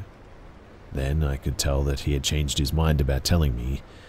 He actually looked at me with empathy and told me that what he saw was hard to explain, but if I was afraid of the screeching noises, he didn't think that I should go near the cemetery. I didn't say anything right away, but he said four words without any context Keepers of the Flame. At that, I looked at my cigar and the ash was long. I put it out and told him that I was going to wait by the dock for the boat, and he nodded and I started to walk away. After a few steps, he said, Hey, and I turned around to look at him. He just said, Don't come back here, okay? I turned around at that and started walking again. I don't know if that was a, a warning or a friendly suggestion, but whatever it was, I took it to heart. I was definitely not going to come back to Rock Island. When I did get home, though, I looked up Keepers of the Flame as it pertained to Rock Island. I found three things that he could have been referring to, in fact the name of the Native Americans that lived on the island. It could be translated to Keepers of the Flame. The lighthouse keepers on the island were sometimes referred to as Keepers of the Flame. But then, there was also a 19th century cult that was said to visit the island from time to time that called themselves the Keepers of the Flame. I know that hundreds of people visit Rock Island every year, and they have a great time camping, hiking the trails, and exploring Chester Thordarson's buildings, but my humble suggestion is this do not go to Rock Island.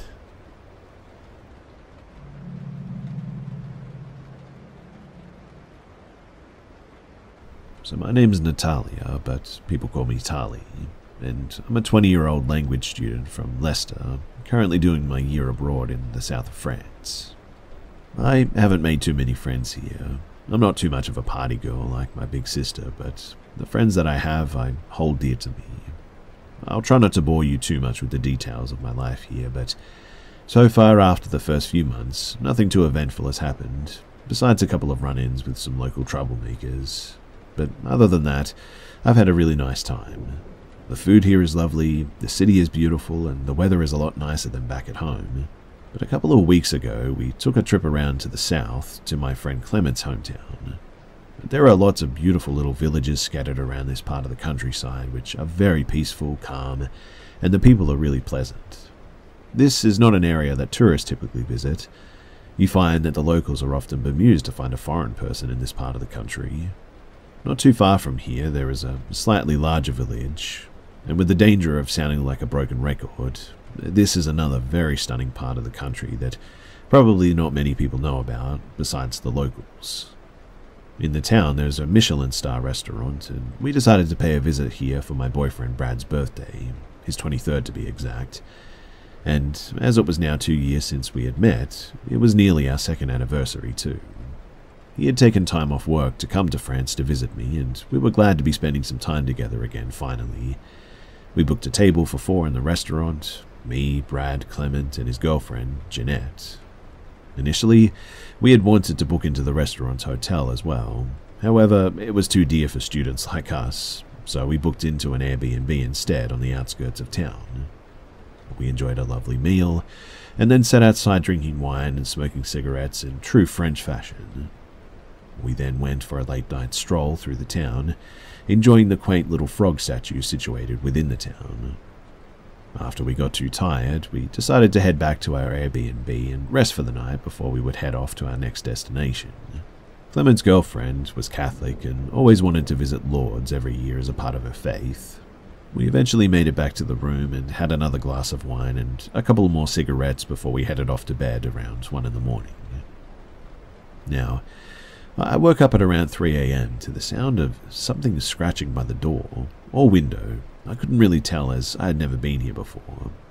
I wondered if it could have been a dog or perhaps another small animal like a cat maybe. However, the sounds faded away almost as quickly as they appeared, and I quickly drifted off back to sleep. Not long after, however, I was awoken again. Not because of any sound from outside this time, but because Brad had gotten up for the bathroom. I lay back down on the pillow and closed my eyes, but then a, a sudden sense of dread filled me up. I don't know how, but I had a feeling that somebody was just watching me. I looked around the room, with only the moonlight bringing in just enough light to see. I looked over to the window, which should have been closed via the shutter, but again, with Brad not being used to the life around here, had forgotten to lock it. And I could see it slowly being pulled open by a hand outside, its silhouette lit by the moonlight, attempting to open the window while holding something that I couldn't quite make out. I then heard what sounded like an old fashioned camera shutter closing repeatedly. I hadn't heard one of these in many years, not since my grandfather would take family photos of us, but as I've heard this so many times before, it was unmistakable to me that that was the sound. What felt like an eternity passed by before I could bring myself to open my mouth and yell out to Brad. The person at the window, though, quickly began to climb down, and whilst briefly in the moonlight, I caught a clear glimpse of a very distinctive ring on the left hand. I didn't get a long look at it, but it did appear to be wooden with a distinct marking on one side. Seconds later, the assailant, whoever they were, was gone. Brad rushed outside to try and see who it was, but all he saw was an empty street, but he could hear the sound of footsteps becoming more and more distant. Obviously, we didn't sleep a wink the rest of the night. Neither of us dared to. We checked out of the room as early as we could once there was sunlight as well. Clement and Jeanette, they went to get the car while me and Brad returned the keys to the lockbox. I messaged the host about what happened. Whilst he seemed sympathetic, he said that he wouldn't be taking any action against what happened. A few days have passed since then, and we still have no idea who tried to break in. Brad seems to think that it was the host, as they weren't too apologetic. However, Clement seems to think that it's because they're rich snobs and don't care about foreigners. So I guess that we'll never likely really figure out who it was. I guess the creepiest thing for me, though, is that some perv, some creep out there who tried to break into our place at night, has a photo of me lying nude in bed and I have absolutely no idea who has it and whether or not it might end up online somewhere.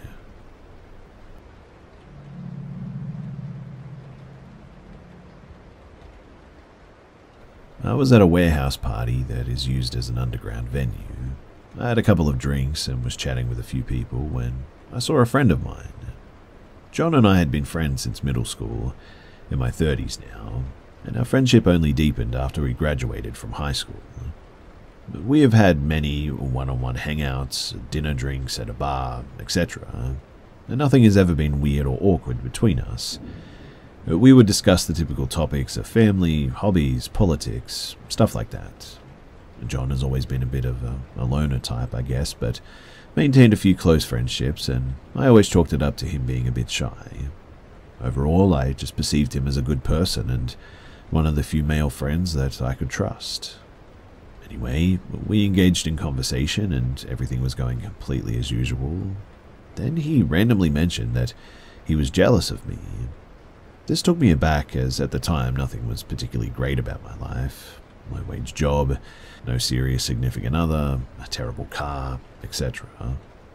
But I began questioning him about why he would be jealous of me and several times he tried to change the subject. I kept pressing him. He sounded depressed, and I thought that he needed to open up or something. He goes on to say that he's jealous of the way that I interact with people, how naturally it comes to me, how I always have a positive energy about me, and how I genuinely care about things. I tell him, well, there must be something you care about. But he proceeds to tell me that he doesn't care about anything or anyone and never has that all of his friendships are based around similar hobbies, but he genuinely doesn't love or care about a single person that he's ever known. I was very disturbed at this point, as I could tell that he was being completely sincere.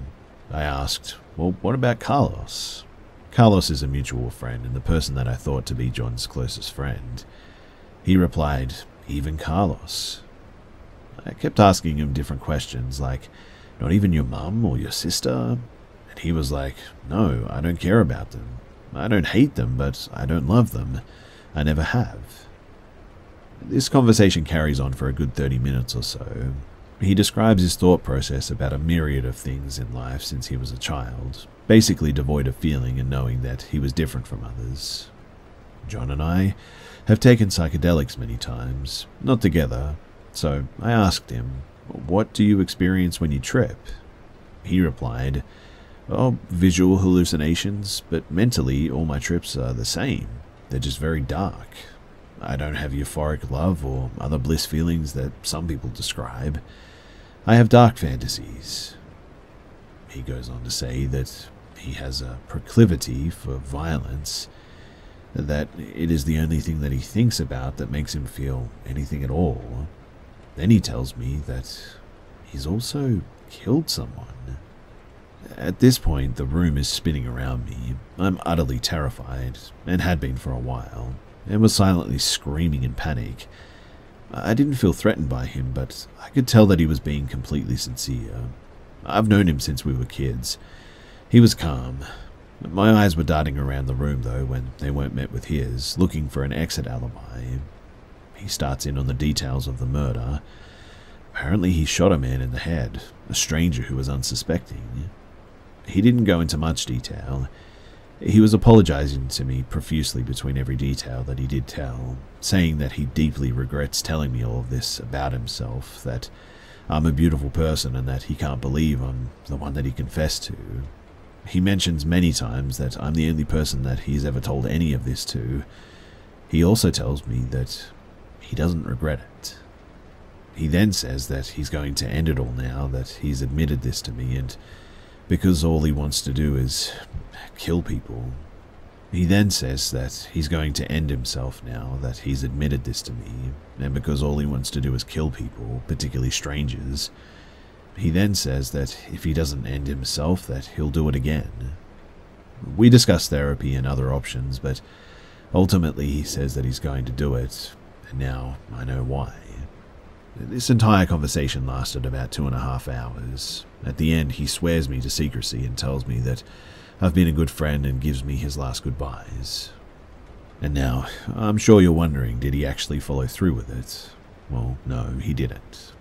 And I ended up confiding in a few mutual friends, basically stating, stay away from John. I didn't go to the police as John told me that I was the only person he'd ever confided in, but one of my friends who I confided in did go to the police. I don't think anything came of it in the end. John reached out to me several months later telling me that he desperately wanted to kill again. The desire was so strong and he wishes that he could just do it to himself. I blocked him after this, on everything. But I did run into him at another party about a year later, and we exchanged greetings like nothing weird had ever happened between us. It was the strangest thing, and I dread running into him again.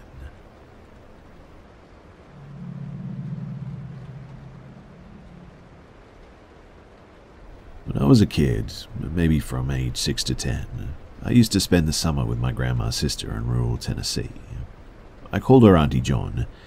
Most of my family live in rural areas too, but Auntie John's old place was like an hour from the nearest grocery store, on an unpaved road, well water, and you get the picture. She taught me a lot about the woods, though fishing, catching crawdads, how to cook a chicken of the woods or a morel. She passed in 2012, but whenever I do these things, I always think of her. You see, my mum isn't really the best, and my auntie was kind of my female role model, I guess you could say. She wasn't really a religious person, but I do remember some superstitions that she passed on to me. Well, one was that you should never give your real name to a stranger who asks. Instead, you need to give a nickname. Like, if my name were Catherine, I'd say it was Caddy. Two, there are certain roads in her area that you should never walk on at night, because there are entities who will steal your breath. Three, you should have at least the length of two persons lying down, so maybe 10 or 12 feet between your house and any trees on your property. 4. And this one is most relevant to my story never sleep with the door open. and if you have the window open, put some acorns on the windowsill. Okay, whatever. So, now onto the story that I came to share. My cousin Jace was visiting, and we told my auntie we wanted to sleep in one of the outbuildings, basically like a shed. We took our blankets and all of our stuff out there, my cousin's Pokemon cards, some snacks. We probably fell asleep around midnight, and we forgot to shut the door. I woke up in the pitch dark. I was itchy from a mosquito bite, so I thought that that was why I woke up. But then I heard my cousin breathing weird, and he grabbed my wrist. I also felt something walk into the shed, even though I couldn't see or hear it. It was sort of like a, a gut feeling, I guess you could say. There was a lot of old dust and spiderwebs on the ceiling, and suddenly it just crumbled down onto our blankets like something had brushed the ceiling. I was about to wet myself, but Jace grabbed this lighter that we'd been using with a citronella candle and lit it. He said really loudly, This is our place, go away. Once he hit the lighter, we could see, though, that nobody was there but us. Also, the door wasn't completely open, so only a very thin, small person could have slid through without creaking the hinges. In any case, we didn't sleep at all after that, and we locked the door tight. We didn't tell Auntie John what happened because we didn't want to get our butts torn up. But that's my story. To this day, I'm really not sure what happened, but there was definitely someone there, I can say that much. I talked to Jace about it a few years ago, and his memory is the same, except he was apparently awoken by me laughing in my sleep, and then the weird stuff started happening. I do think that something weird happened that night. There's no way that an animal could reach the ceiling to knock the dust down like that, and a person couldn't get through the door without making noise. What I'm getting at, though, is that there was definitely someone in there that night.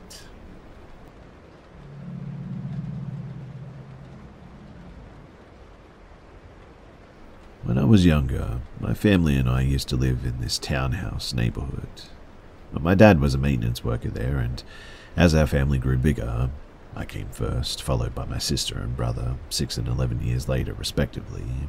We moved into larger townhouses that the apartment complex had available, when my parents had my younger sibling, there were plans to move out of our neighborhood and into our own house, despite only having just moved into a new townhouse a few weeks prior. We ended up moving out after only two months. While living there, I ended up having a reoccurring sleep paralysis dream of this thing that would come out of my closet. The best way that I could describe it was that it was very lanky and had glowing white eyes, and it never made any noise. Scattered throughout those two months living there, I would keep dreaming of it slowly opening my closet, peeking its head out, and slowly shuffling towards me. Each night I had the dream, it seemed to be getting closer to my bed, too. Now, if my experience stopped there, I would definitely just mark it all down as sleep paralysis. But my last night sleeping there and the following morning before moving makes me question everything that happened and whether or not it was real or just in my head. So, pretty much everything had been taken out of my room except for my mattress since we were moving the next day, so I basically just slept that night in a bare room. Of course, I had to be visited one last time by this sleep paralysis thing before I went away. And this night, it ended up right beside me, looking down, and reached down and actually grabbed my arm. But that was when I jolted awake to find a huge scratch running from my armpit to my inner elbow. I remember it stinging like a bee sting, and it definitely wasn't there when I went to bed, and my dad coming in to see me freaking out and crying. After calming down, we also ate breakfast and did a sweep throughout the house to make sure that we weren't leaving anything behind. Me and my dad went to my room and got the mattress and then opened up the closet to make sure everything was grabbed in there. But as he opened it, half of our attic crawl space access panel fell to the ground, startling both of us. Up until this point, everything about my dreams could have easily been explained. But this last night there is what really scares me. Those panels, they don't just simply break. You have to put a decent amount of force on them to start to crack them apart like that. None of us know of anything that could have caused that to happen, and we've thought about it endlessly. That, plus the fact that I had that scratch after the dream. I don't know. There was something weird about that house. If anyone has any ideas as to what to happen over the course of those months, or if anyone has had any similar experiences, then please do let me know.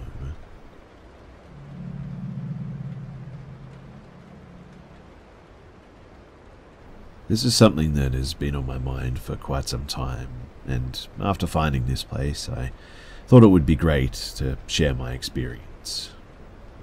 Now, I would consider myself a skeptic, but one particular period of my life has just always had me guessing. I just have no explanation for what I experienced there, and it's always stuck with me. So, I was around 11 years old when my family moved into a house that was built around the year 1910. It was a fairly large house, consisting of an unfinished basement, main floor, and the attic. The attic had been converted some years earlier into two bedrooms and a bathroom. It was decided that my brother, seven years younger, and I would share the two bedrooms in the attic. Starting from the first night in the home, I was uneasy and generally uncomfortable, especially when I was alone upstairs. Part of me wants to attribute this to my new surroundings, but who knows? The upstairs area in particular gave me the creeps. The long staircase up into the hallway was always dimly lit, and led straight into a hallway, obscuring any line of sight that you would have from the bottom of the stairs. And just thinking about it, man, it gives me chills to this day. The first few months were, well, pretty much uneventful. It was probably around maybe six months into living in the home when I would get woken up in the middle of the night from what sounded like thumping coming from the stairwell. For some context, my bedroom wall shared a wall with the stairwell, and it sounded like someone sort of lightly hitting the stairwell wall with their palm. Not a smack, not a knock, but a very distinct thump. It did frighten me, but it would not last more than maybe a few thumps, and then I would just fall back to sleep. This would happen about every other night for a week or so, and then I would not hear the thumping again for maybe a month. I always dreaded it, though.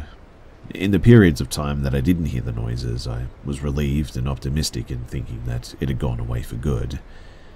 But, without fail, it would always come back. It gave me a, a sinking feeling in my chest when I would wake up hearing the thumping on the other side of the wall. Then it would go away again for a few months, no one else in the house was hearing anything, and my parents told me that it was just the house settling. The thudding of the house just settling. Extremely normal, right? To be fair, it could have really been that, but after I had accepted that this was probably not going to stop, I began to become increasingly uneasy in my bedroom and the upstairs in general. I slept with my light on every night. I refused to spend any time in my room unless I was going to bed. By now, I was 12 or 13 years old, and I began to get uh, an increasingly irritated and stupidly confident uh, sort of attitude about trying to find out what was causing this noise in the stairwell in the early hours of the morning. If I was feeling particularly brave, I would get out of bed, open my bedroom door, and flip on the hallway light. But nothing was ever there. Everyone in the house was sound asleep. After closing the door and getting back into bed, though, the thudding would always begin again, and that was very weird. By this time, it had gotten significantly louder, but still occurring in the same frequency as before. In hindsight, though, I might have made a mistake in being so confident in catching whatever it was making this noise. Around the same time, I started to have a very strange reoccurring dream about being in my bedroom, as if I were awake, and there would be a tall man peeking at me from around the corner of my doorframe. I never saw the man's full body, only ever half of his face and his shoulder.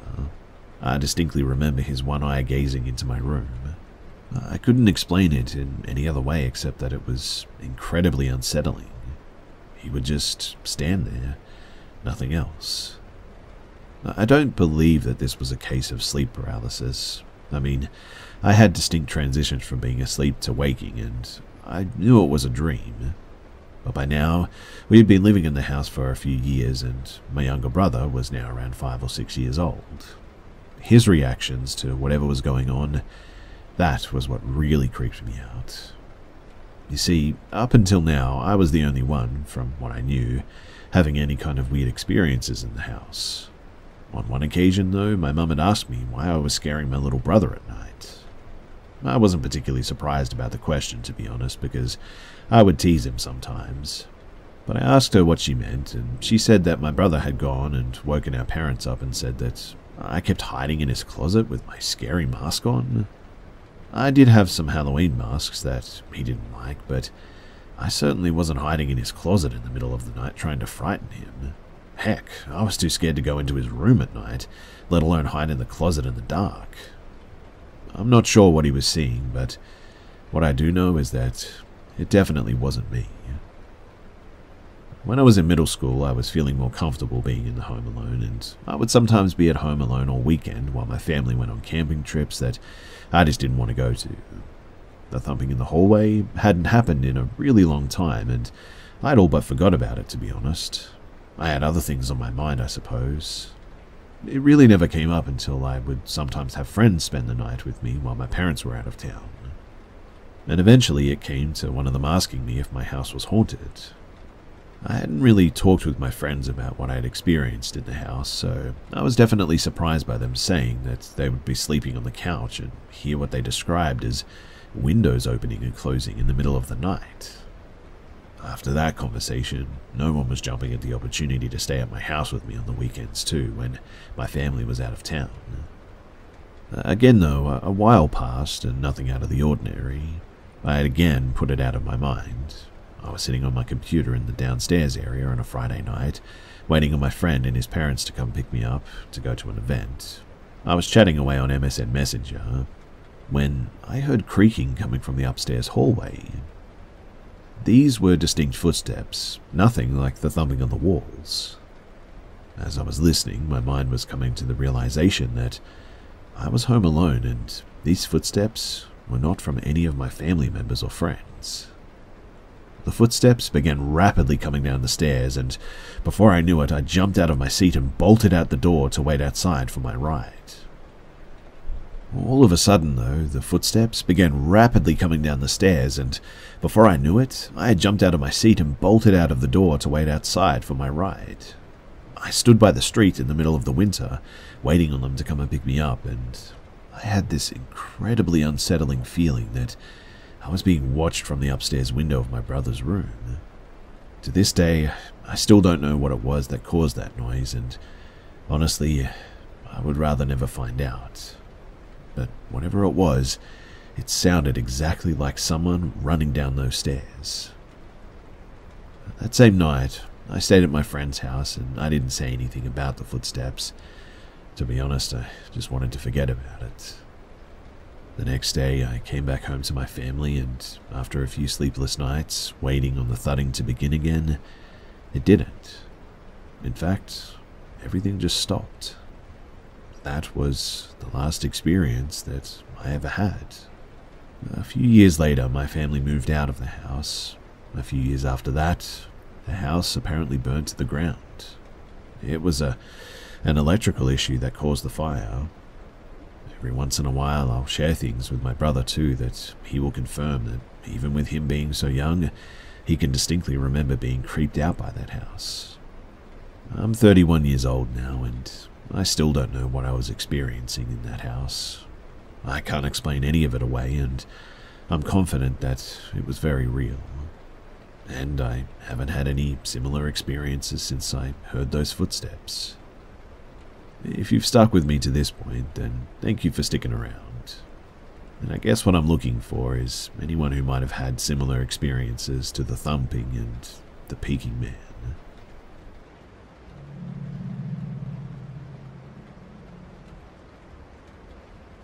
I'm a single mum of a three year old little girl. I'm so blessed that I have the most amazing parents who live about 20 minutes away from me, who keep her when I need them to. I live in the city next to their rural area, and you have to go down a curvy wooded rural road to get to their house out in the country. Now, my little girl had spent the night with them the night before, and I headed out to their house the next day around lunchtime to eat with them and bring her back to our house. It was a pretty day, Sunny, a lot of bikers out though. so I was on high alert driving there, as anyone speeding and not paying attention could easily hit a biker, which is a bit of a fear of mine. But I got there fine, ate lunch with them, and was headed back to my house driving on the rural road, which I know like the back of my hand at this point, and typically speed on, knowing when to slow down and take certain curves, etc. My little girl requested that I put on her favourite songs in the car, so I was kind of watching her sing as she sat in her car seat in the back of the car through my rearview mirror. As we drove back home, I caught a glimpse of something blue up ahead just in the edge of the woods near the road. I was going fast enough that the image didn't quite set in as I approached and then passed it. But right after passing it, my brain finally processed that it was a blue old car. It was flipped upside down and had also rammed into a tree. The road was empty with only one house near, and there weren't any ambulances or cars near, so at first I was like, what the heck? Truly, the wreck didn't look like it had just happened, but I knew something was wrong in my gut. I pulled my phone out and called 911 as I kept driving, not fully processing what had just happened. This is 911, what's your emergency? Oh, uh, hey, um, so I'm driving down the road near, and I gave him the road, and I just passed a blue car flipped upside down. It looks like they may have ran into a tree. There wasn't anyone visible near the car and no other cars around. I'm not sure if I was the first person on the scene or what. So what is your exact location? Is there a house close to the wreck? Try to find the nearest address. I'm sending an ambulance out now. Was anyone visibly hurt or present at the scene? No, no, I didn't see anyone when I passed, but I'm really not sure. I didn't get a super good look if I'm being honest. I'm about two minutes down the road past the car now. now let me turn around and go back. I have my three year old little girl in the car with me, just letting you know. I don't necessarily want her to see anything traumatizing, but I'll do what I need to do if I find anyone. The car looked super bad though. It's okay. Don't get out of your car, alright? Keep your doors locked. Just see if you can find the nearest address, and I'll stay on the phone with you the whole time. I turned around in the nearest driveway to me and drove back, speeding with my heart beating fast as I now realized someone clearly might be severely hurt, and I just passed them by, not thinking that I was the first to arrive on the scene. I was scared, but in action mode, ready to deal with what I was potentially about to see inside this vehicle. When I got to the house that I thought was closest to the wreck, the conversation picked up with the operator. Okay, so uh, I think I'm almost to the car now. I see a mailbox coming up right here. Hang on. Okay, it's. And I gave her the road. This is the house, a little less than maybe a mile from the car, I would guess.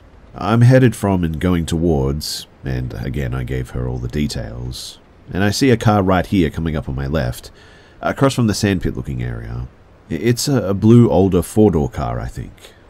Okay, great. Well, an ambulance was just dispatched and it won't be long before they get there. Do you see anyone in or near the vehicle? What the... Wait, yeah. I see a man around 25 or 30. He's standing in the middle of the road. I pull up next to the man with the doors locked, rolled my window down with the phone still on my ear and 911 listening to me speak. I immediately say, Oh my goodness, are you okay? Is that your car? The guy is slurring his words a little, clearly very injured, but still standing and not in a critical condition. He says, Uh, yeah, I'm fine. That's when I notice a large wound on the side of his head with blood all over it. I say, You're bleeding. You aren't okay. Look, I'm on the phone with 911 right now. They're sending an ambulance. Don't move. I hear the 911 operator asking me if he was okay or if he was hurt in my ear. I say, no, he isn't. He's bleeding from his head, but he's standing in the road. That was when I see the guy's face, though, go from concerned about getting help to fully panicked and flat. He says, Is that 911 on the phone? Hang up. I need you to drive me up the road right now. Hang up the phone. The operator hears him say this and she says, Is your daughter in the vehicle with you? I say yes. I can't drive this man anywhere. I'm not letting him in my car, especially with my little girl in here. Meanwhile, my daughter is silent in the back seat, taking everything happening in. But that's when I look down and also notice that the man isn't wearing shoes. He's standing with bare feet, and there's a large wet stain on his blue jeans, which I immediately realize is pee. I can smell alcohol on him, and he isn't even standing that close to me. Now, I work in the medical field and I deal with traumatic brain injury patients often, so I immediately wondered if maybe he had some kind of brain damage from the impact and began telling the operator, He isn't okay. I think that he's really hurt. I look at the man, staying as calm and matter of fact as I can, and tell him, uh, Look, I'm really sorry, but I can't drive you anywhere. My little girl is in the back seat, and I just don't feel comfortable doing that. I didn't see anyone in the vehicle when I passed, so I, would already called 911. I think you need to let them come. I can't let you in my car, but I'll park over here and make sure that you're okay until they get here. The man is visibly panicked and now really ticked off. He starts yelling, Tell them not to come, hang up the phone. My heart literally stopped beating. I began slowly and gently pressing the gas, rolling past him to indicate that I'm leaving. The 911 operator says in my ear, Pretend to tell me not to come, pretend to hang up with me, but keep me on the line. So, that's exactly what I do. Hey, uh, so I think he's okay actually. He says he doesn't need any medical help. He lives really close to here, so actually, I don't think you need to send an ambulance out. Sorry for the miscommunication. Uh, yeah, Okay, but thanks so much. And I fake the hang up. I set my phone face down in the passenger seat and tell him that I was going to go now, but that I hoped he was going to be okay. That was when I noticed his pocket bulging with something silver peeking out. I knew right then that this man was armed, and I had to get the heck out of there quickly. I smiled and said that I was sorry I couldn't really help, and then quickly rolled up my window and I sped off, turning around further down the road and passing him again at 65 to 70 miles per hour on a 45 mile per hour road. I was crying hysterically, and I picked up the phone to tell the 911 operator what had just happened. She said, It's okay, you did the right thing. You played it cool and appeased him. We have the address, and the ambulance is less than five minutes away. As she asked me for my name and identifying information, I see and hear sirens further up ahead. All I can say is that I thank God for the 911 operator coaching me through the situation that day. I still don't know what happened to the man, but I do know that he was clearly intoxicated, dangerous, and fully panicked, which is a scary combination that will make people do things without thinking clearly in an instant. My little girl asked, Mummy, was that man hurt? I saw a boo boo on his head. I just said, uh, yes, sweetie, he's okay. He did get a boo-boo, I think. He was playing and bumped into a tree, I guess. But a nurse is going to give him a band-aid, but I'm really glad that we could help him.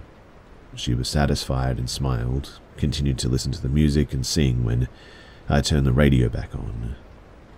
It was a, a terrifying and creepy encounter, to say the least.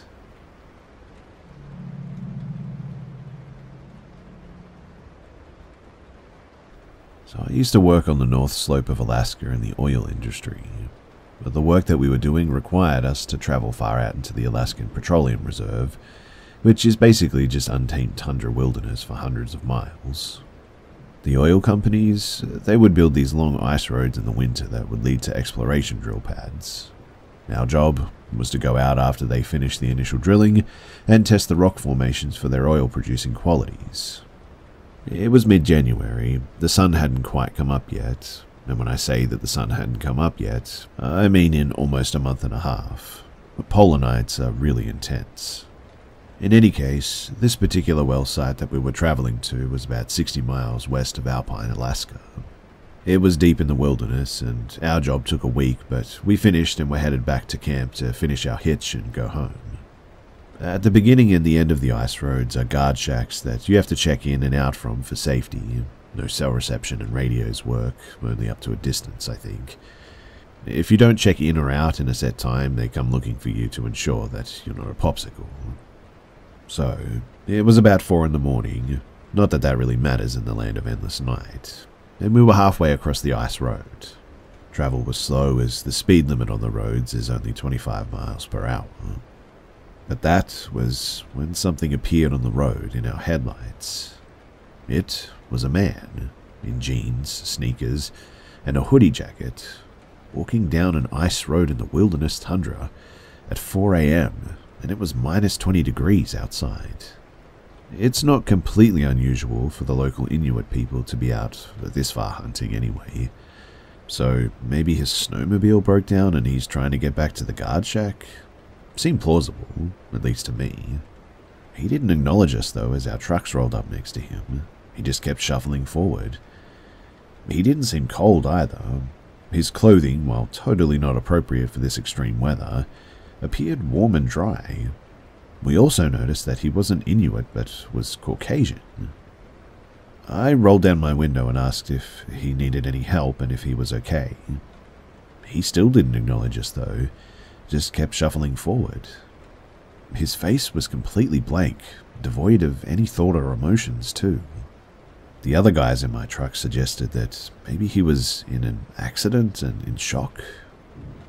I continued rolling my truck alongside him as he trudged down the road, still trying to get his attention. Even in the extreme cold, I could occasionally get whiffs of a peculiar smell coming from him, though. He smelt, I don't know, acidic almost, if that makes sense. There was just a lot about this guy that made the hair on my neck stand up. The guy behind me in the truck's crew cab had had enough of all this. He rolled down his window and reached out to grab the guy.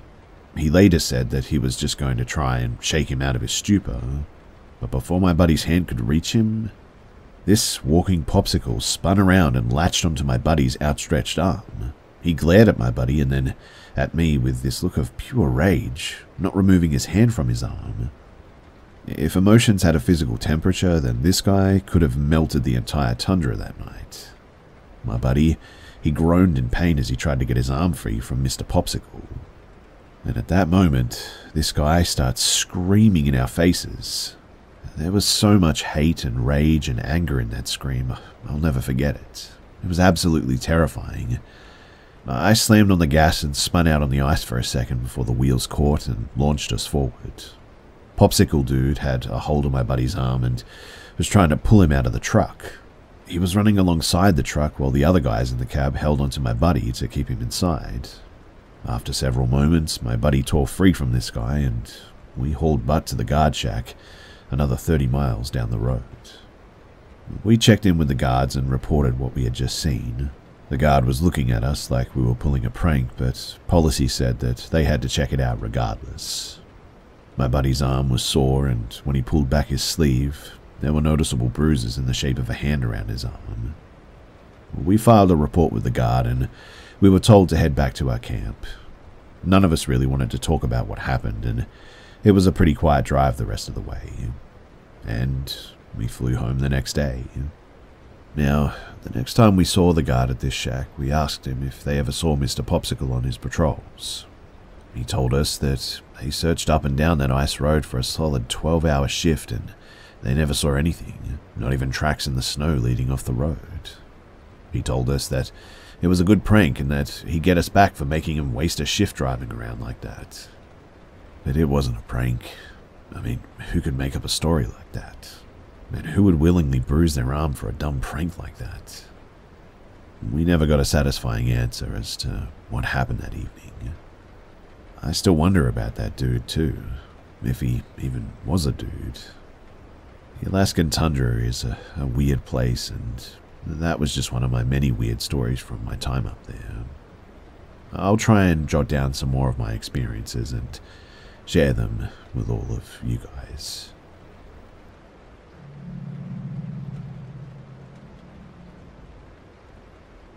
My family and I went on a trip to the Hocking Hills area of southern Ohio a few weeks ago. It was a place that I always wanted to visit, the abandoned ghost town Moonville Rail Tunnel. I had never been to this area, so I didn't know what to expect, but I did know that it was pretty deep in the woods. We took a trip from our rented cabin using Google for GPS to the location. We started driving, and it's for a lack of a better term, real impoverished where we are driving. The hills have eyes esque. We literally only see a few cars on the way there and are on the back roads. We get to a point where we need to enter into the forest, and we're close to the tunnel now. There was a sign that said that we were entering Bubblewood. For a little additional information, I drive a Mercedes that I'm just lucky to have and have my husband in the car. He's a black man with dreadlocks, my 10 year old son, who is nonverbal, autistic, and my 6 year old daughter. So we drive down this really creepy stone road into the forest, and there's nothing back there no houses, no cars, nobody. We see signs that we're close and pull into the parking lot. There's a footbridge there, and we walk over the footbridge and make our way toward the tunnel, which is a lot larger than I expected. And we hear this sound coming from the other side of the tunnel that goes into the woods away from the parking lot. A truck comes driving through the tunnel towards us while we're on foot. He gets out of his truck with a chainsaw, and it's a white guy in his 60s. He walks with my entire family everywhere that we go through the tunnel. I tried to make small talk with him and pull some info about if he worked for the Department of Natural Resources, etc., or something like that. But he really wasn't budging. We turn around to walk out of the tunnel, and he starts using a chainsaw behind us, and the sound is just echoing through the tunnel. I was already worried that my car was sending the wrong idea to the people, like we have money or something, but we really don't. We rush to the car to get the kids into their booster seats, and this guy comes driving over the footbridge in his truck towards us in the parking lot. To this day, I honestly don't even know how this truck could have fit on it. But he stops again and gets out of his truck and starts walking the other direction, much to our relief, to be honest. About this time, I noticed that there are dusty handprints on my car, though. I asked my husband if they were his, and we compared his hand and my son's, and they were definitely not a match. I don't know who could have touched the car because where we were with the chainsaw man the entire time, I mean, we were the only ones in this spot as far as we knew. In any case, we got out of there as fast as we could after this. But just a few minutes later, I look into my rearview mirror there's a bunch of dust kicked up behind us, and there he is.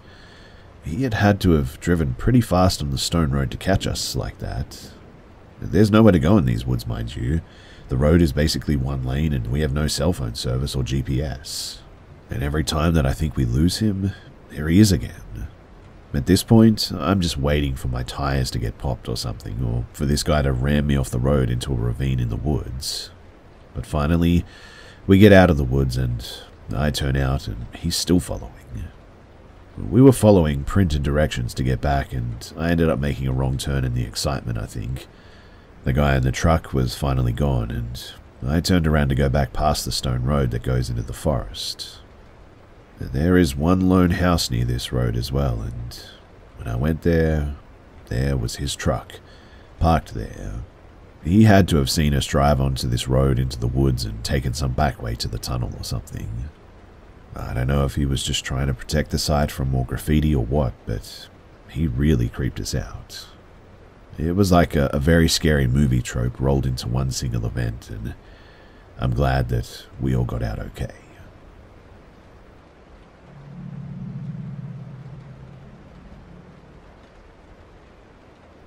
When I was young, we used to live in a house that had a big sloping backyard that backed down into a big oval. Our fence line was along one end, the other was a big forest that went on for miles, and on the opposite side was a fence line and all the housing estates. Right smack bang in the middle of this field was play equipment. Uh, there were zero people around here as it was quite isolated, and not many people frequented this oval. But me and my sister, we used to run down our sloping backyard, jump the fence, and run across to the play equipment almost every day.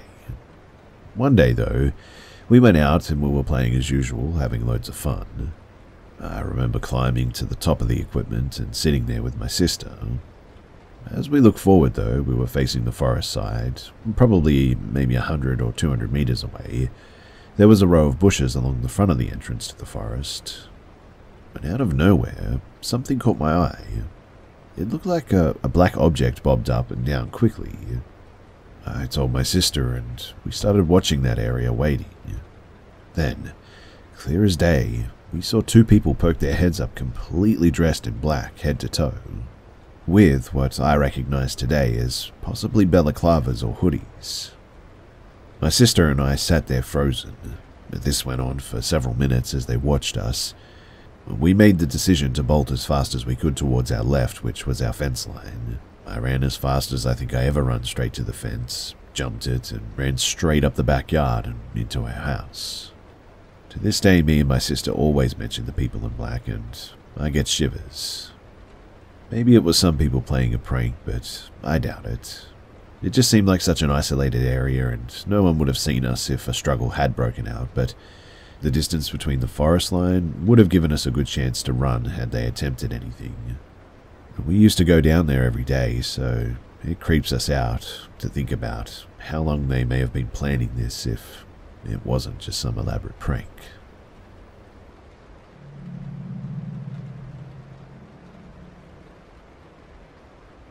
So this was about seven years ago, and I still remember these instances quite well. They left an imprint in my mind, I guess. I was 13, living in an apartment with my mum and older sister. I'd always loved supernatural things, and for some dumb reason thought that it would be so fun and cool of me to make a Ouija board and use it. I only ever did it when I was home alone, and I remember that I always lit candles. It seemed like a, a fun activity to me, that if anything were to happen, it would either be someone or thing helping me, or just wanted to be in contact with this side of the world for some reason. I did never really experience anything with the board, no movement, nothing though my candles would flicker in a weird way sometimes. Anyway, fast forward a couple of days and I wake up with a, a weird bite mark on my arm that definitely wasn't there the night before. It seemed like it was an impression of a bite made with wax of some sort. Weird, I know. Though my candles were always white, and this was a sort of dark caramel colour.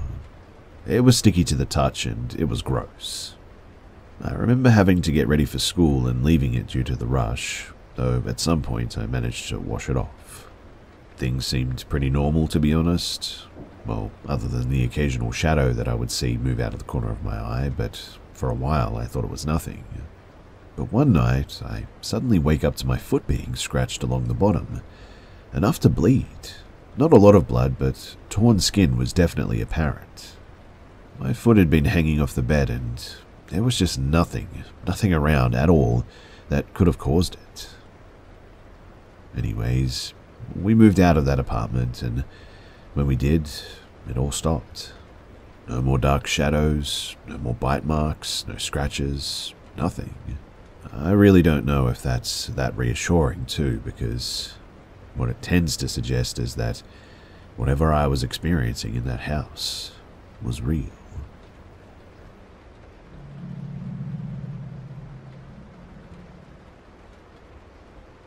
So, my friend and I had a, really bizarre experience in a bushwalk, and we haven't really been able to wrap our heads around it. So, I'm curious to see if anyone here has any ideas about what happened to us or what we may have encountered. Well, we're both pretty experienced bushwalkers. We were pretty confident that we'd be fine on the trail, even though it's not the most well marked or heavily used trail, and we'd never hiked it before either.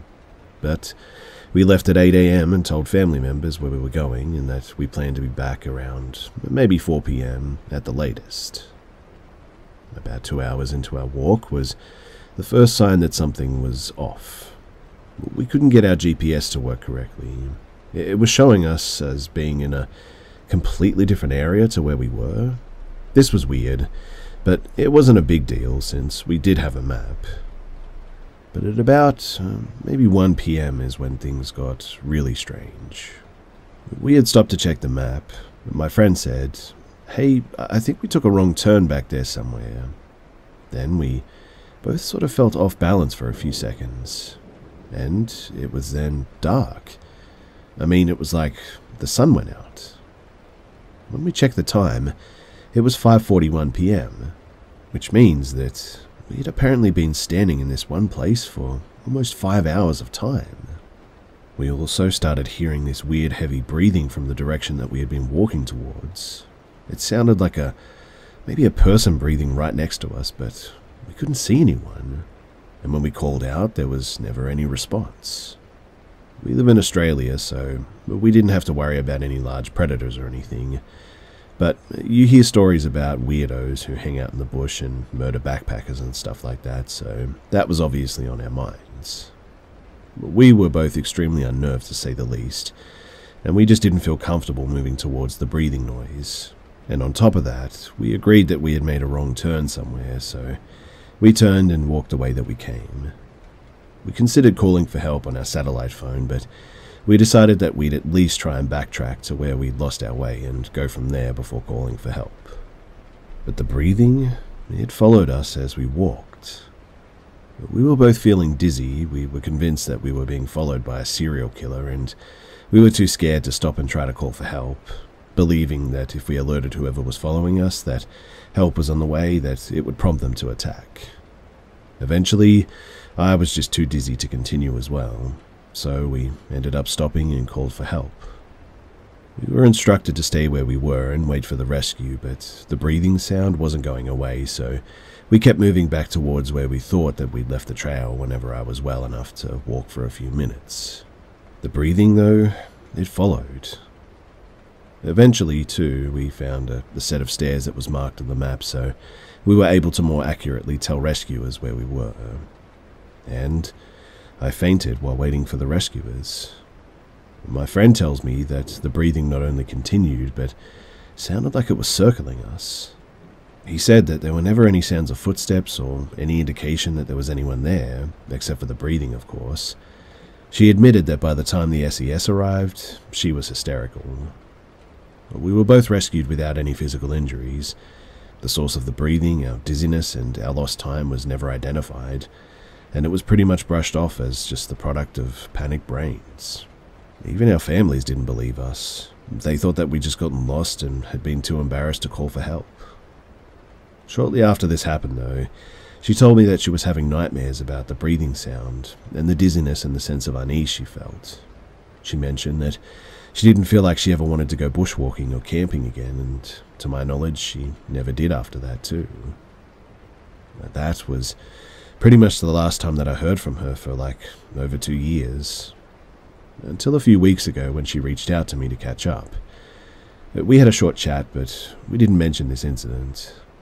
Tragically, a week later, she took her own life. I don't know how much our experience played a part in her mental health.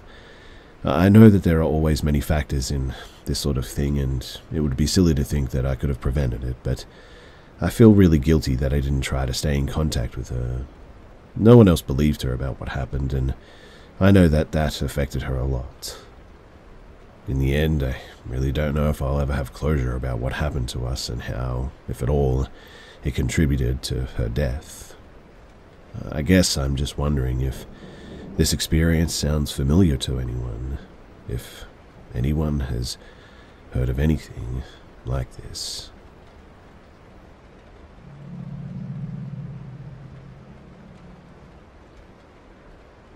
So, me and my sister and my mum have been trying to make sense of this for the past couple of hours, and the facts get less comforting the more we compare our experiences of that night. So, last Friday, I, a 17 year old male, was home alone while my family, besides my sister, 21, who was at work, stayed in their cabin a few kilometers away. I'm used to staying home alone, as this exact scenario is pretty common in the summertime, especially while I'm working and I can't travel from the cabin and back. I'm not usually jumpy or afraid while home alone anymore. I think I'm just used to the odd creaks and settling noises of the old house now. I was especially comforted by the fact that my sister's dog was also in the house with me that night, and most noises could be attributed to him, and if anything were to happen, he would act as a guard dog of sorts and alert me to anything odd. At the same time, however, he is the type of dog to bark at any noise or person walking past the door or the windows, so I'm used to hearing him bark or growl at night. Even so, this past Friday, the sound of his barks at nearly 12 am were disconcerting to say the least. Despite my comfort with staying home alone, I'm still pretty afraid of the premise of break in or Uh, some other uninvited human interaction at midnight. So I let him bark for a few seconds, telling myself it was just someone walking past our glass door in the adjacent alleyway, and he would quiet down once they passed. Needless to say, that's not what happened. He kept barking and growling for a few moments too long, and I finally got out of bed, I sleep in the basement, and walked upstairs to check it out. As I'd suspected, he was standing alert at the glass door. I was comforted for a moment until I walked over, ready to close the curtains and go back to sleep, and saw the door open about two or three inches. I froze. I had let Bosco the dog out earlier that night, but I know that I closed that door. I've never left this door open, in fact. I mean, I'm a paranoid person with pretty bad anxiety, especially concerning break ins, like I said. So I would never, ever, home alone, forget to close the door. I'm 100% certain of that. But at the time, I didn't let myself think about these facts or even acknowledge that I could not have left the door open because I knew it would send me into a spiral, possibly even into an anxiety or panic attack if I didn't explain this away. So I closed the locked door, double checking that it was certainly locked. Using the flashlight on my phone, the lights were all off, I looked around the entire second floor of the three floor house, including closets and other reasonable hiding spots, just to put my mind at ease, and upon finding nothing, I went back downstairs to my room. Now, as I was down there trying to push away the fear, I could hear Bosco walking around on the floor that doubles as my bedroom's roof. I thought that I was overthinking it when it started to sound like human footsteps, accompanied by Bosco's footsteps. He walks around for about maybe 10 minutes before I put in my earphones and talk myself down until I can fall asleep. At 2 a.m. that same night, my sister comes back home from work. I woke up a few minutes before this to Bosco in the basement, which he never does. There's even a gate to stop him from getting to the basement, in fact, whining at my bedroom door. When I got up to let him out, my sister walked in and we let him out the front door rather than the glass patio door, letting him in the same way. We talked for a while before I went back downstairs and my sister went to the bathroom. I forgot about the door, busy with work for the next few days, and forgot to mention it to anyone until tonight. My sister and my mum were both home with me for a movie night, while my dad and my brothers stay at the cabin. I remembered the door situation when we were packing our horror movies to watch, I was sharing it as a, a creepy, almost funny story before my sister spoke up, saying that the same night, an hour or so after they got home, the door was open again. The same door that was locked from the inside, and not opened since, earlier that night. My stomach immediately dropped, and I started shaking the second this was revealed. We first started trying to explain it away, I mean, maybe she had let Bosco out and forgot to close it until we both recalled that we'd used the front door. Then we were trying to justify a reason that someone would break in to not steal anything and proceed to stay for two hours before leaving. Ultimately, I realized that I quite possibly locked someone in the house with me, then forced them to hide upstairs while I searched the second level of our house. Then, this hypothetical person would be trapped up there not knowing that this house, that appears empty with the rest of my family gone and all the lights off, was not empty, and there was a dog who would bark if they showed themselves again, alerting me to their presence. Then, when I was in the basement and my sister was in the bathroom, they ran out the glass door, which is timed perfectly to when they found the door open once more, much wider than when I found it, as they were in a hurry on the way out. Perhaps they left it open too the first time for a quick escape, or to stop the loud sound of it meeting the doorframe. Either way, it ties together too perfectly for me to reasonably brush it off. I know it's unlikely, especially with nothing missing, but in this small town, there have been many reports of break ins with nothing missing, vandalizing, or just breaking and enterings many, many times, so it's not as unlikely as it may be in the bigger city. I still can't really make sense of it though, and I am definitely shaken up thinking of the possibility of someone being in my house while I was asleep, alone in the basement. There's a part of me that just doesn't believe it, but I can't shake the too many coincidences that all tie together to make this as concerning as it is.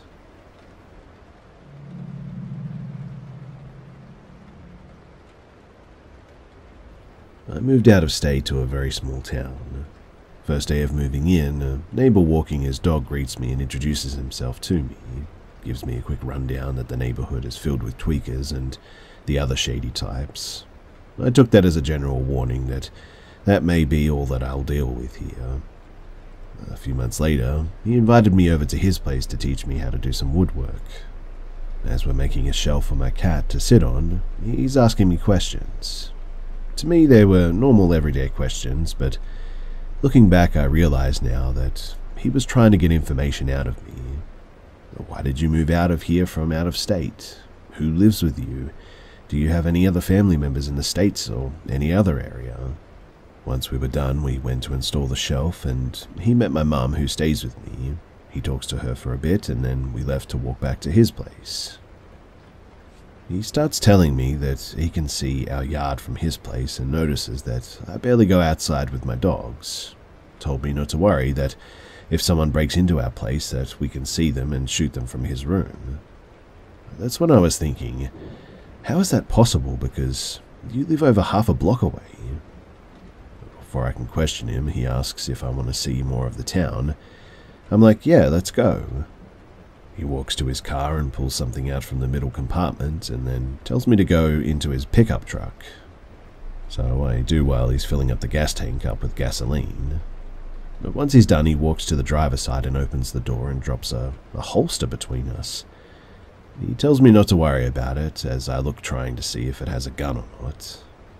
As we're driving, I realize that he actually hasn't said a word for five minutes, and this guy loves to hear his own voice. Another thing that I noticed is that we're on a dirt road and haven't seen a single house, trailer, or vehicle for a while now. I guess I gave off some nervous vibes too because he suddenly goes, So, yeah, unless you know where you're going out here, you'll get lost, and it's best to have a pickup or an ATV to drive out here. After another 10 minutes of silent driving, we get to a little creek.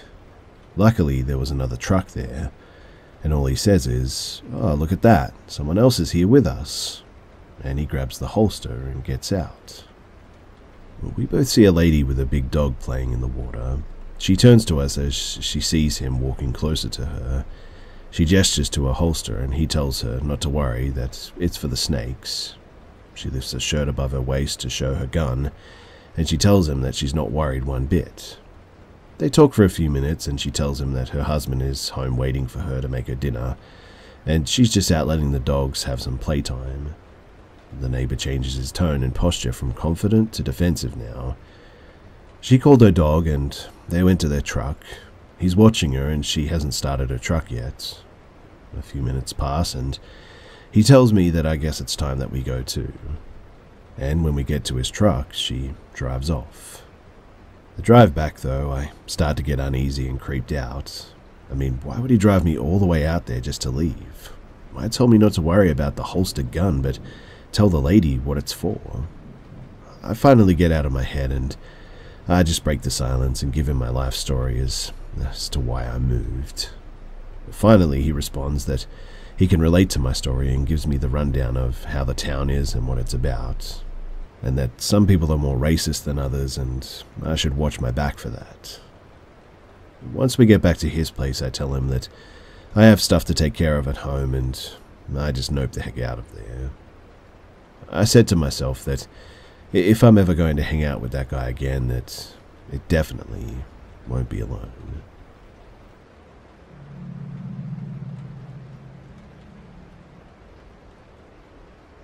So, I want to share a, a, strange experience that I had in my house. I've lived in this house since the beginning of 2013 and never experienced anything before. This happened a couple of months ago. It actually makes me feel kind of sick as well to think about it, but anyway, I was sitting at my kitchen table in my usual spot. My six year old daughter was on the second floor of my house in the upstairs living room, more or less right above my head. She was loudly shifting through her Lego box or something, and to my left at the table is the underside of the staircase to the second floor. I can't see who was on the stairs or the top or the bottom of the stairs from where I was sitting. If you were descending the stairs, the door to the room that we used as an office is directly to the right, across a short hallway from the bottom of the stairs. From my chair at the table, I can see the entire hallway between the bottom of the stairs and the door to the office. I can also see a sliver of the interior of the office. So, as I was sitting at the table and semi listening to the noise my daughter was making with Legos, I heard someone start walking down the stairs. I wasn't really looking towards the office, but I saw the back of my daughter's head as she walked into the office. Well, so I thought. A few seconds later, though, I heard someone start walking down the stairs, this time louder than the first time that I heard it. I realized that something odd had just happened, so I looked towards the hallway and I watched as my daughter walked into the office with both her hands full of her Lego creations.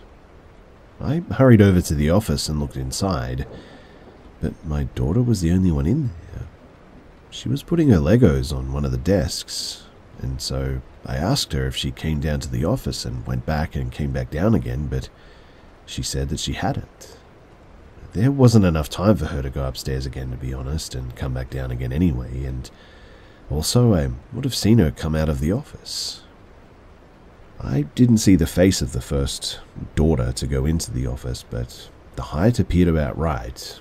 It was the same hair color and length and shirt color were correct for my daughter. I am thoroughly creeped out by this. As creeped out as I was when my daughter used to wave and say goodbye to her closet when we would get her up from naps in the morning when she was around two. I'm really unsure of what to make of this. I lived in this house with shadow people when I was my daughter's age and really don't want to deal with anything creepy ever again.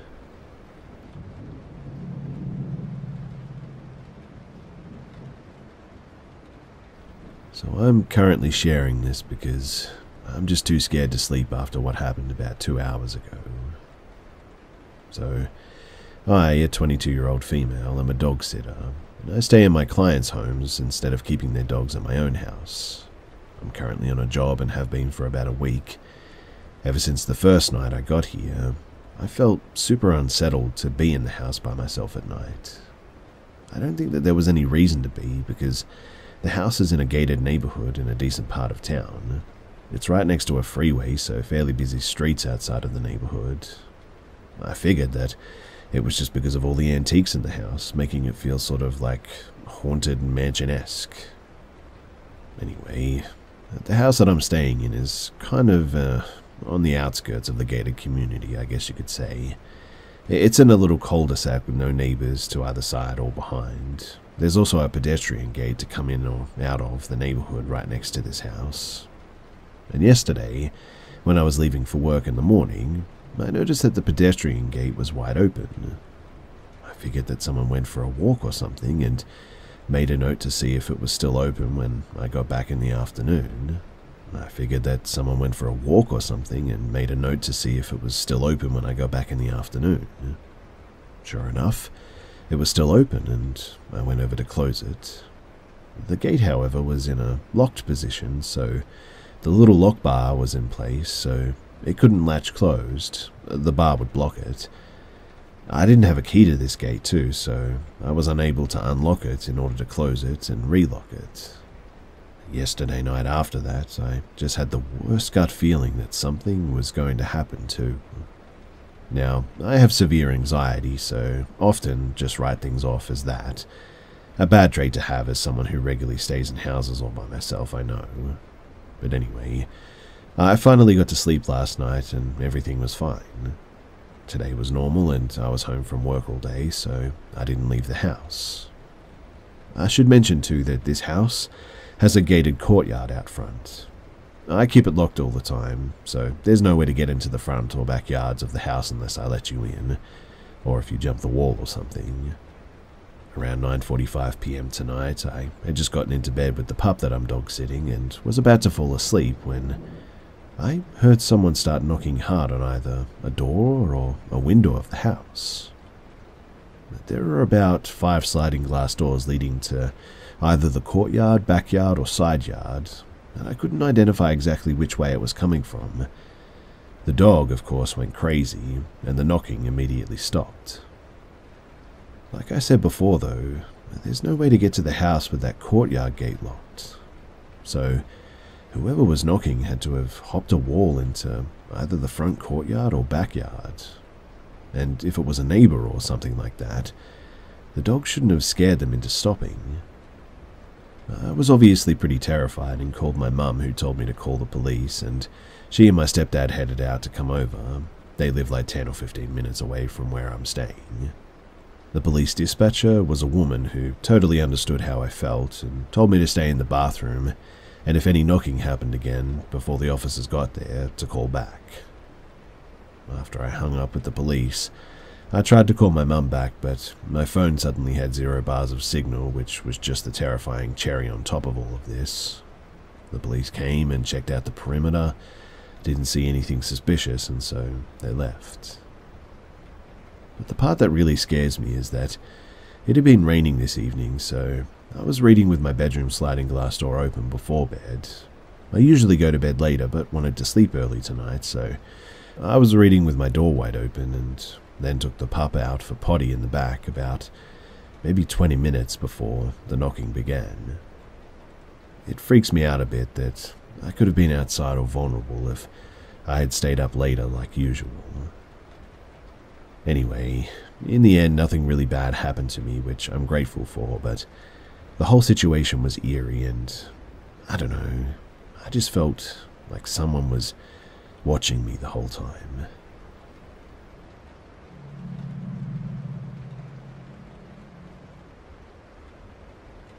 When I was really little, my mum was a paranormal investigator, so I pretty much grew up around ghosts and stuff like that. But flashback to when I was like in middle school, we moved into a house which was super exciting because pretty much all of my life before then I had been moving around from place to place, staying with people and never really having our own house. So 13, 14 year old me was super excited to have my own room. For a good couple of years, nothing happened too. But then it started slow. Things flying off shelves, hearing footsteps down the hallway, stuff like that.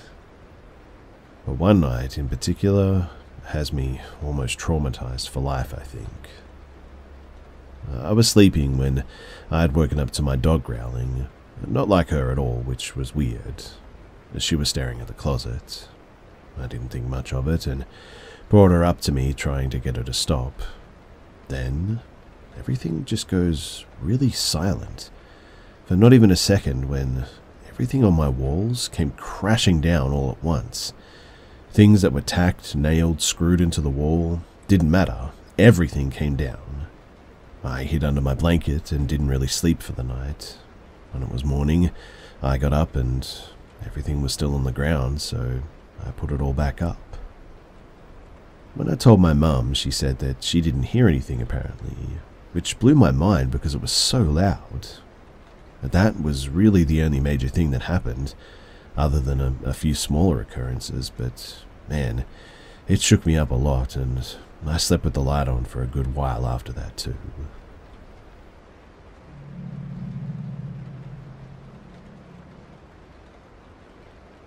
So, I feel sort of uh, silly even sharing this, because I am someone that is entertained by the paranormal. I find it fun and spooky, but I wouldn't say that I'm a believer per se. My belief is very fluid. Sometimes I think I believe, and sometimes I'm a skeptic. Most of the time I'm a skeptic, I think, and I can think logically and explain things away.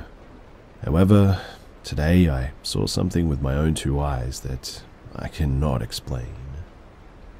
So basically, my parents had taken my little girl for a walk to the park as I haven't been feeling very well lately.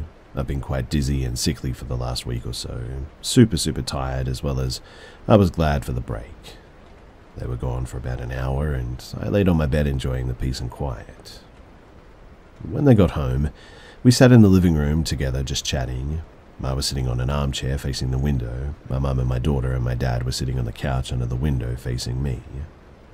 My dad, though, suddenly said that he felt funny and his vision had gone funny. This alarmed me, so I looked up to ask if he could be getting a migraine or something. When to the side of him, this long, white, almost string thing appeared. I really don't know how to describe it to do it justice, but it was the length of my upper torso, it wasn't see through, but it wasn't exactly solid either.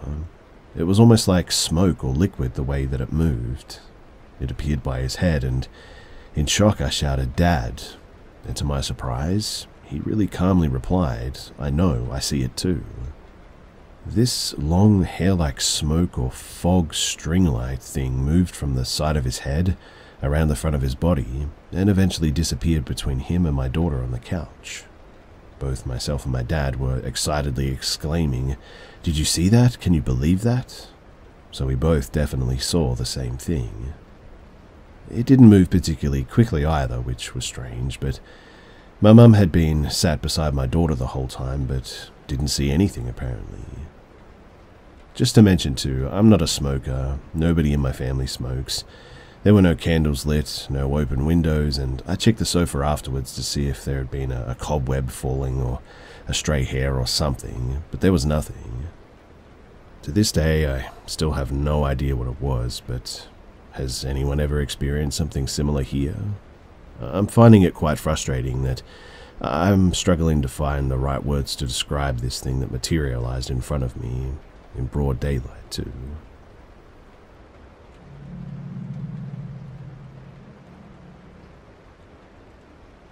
When I was 20, I took a job as a direct care worker at a group home for adults with developmental disabilities. The home that I worked in had six residents, all of which had several physical and mental impairments. None of the residents had the ability to walk or communicate. They were all tube fed and needed 24 hour care and supervision. I worked the midnight shift from 10 pm to 6 am. When I arrived for my shift, the residents were already tucked into bed. It was, overall, a, a pretty boring job, if I'm being honest. Uh, I worked with one other person, and we cleaned the house and stocked up on supplies while they slept. Every two hours, we would check the residents' briefs and change them as necessary. We also had two medications to pass during our shift, and in the last hour, we would give two residents showers. Now, one night, my coworker and I were just settling in for our shift. I started a pot of coffee and we chatted. It was around 10:30 p.m. We had baby monitors in the residents' rooms and in the kitchen so we could hear them if they were in distress.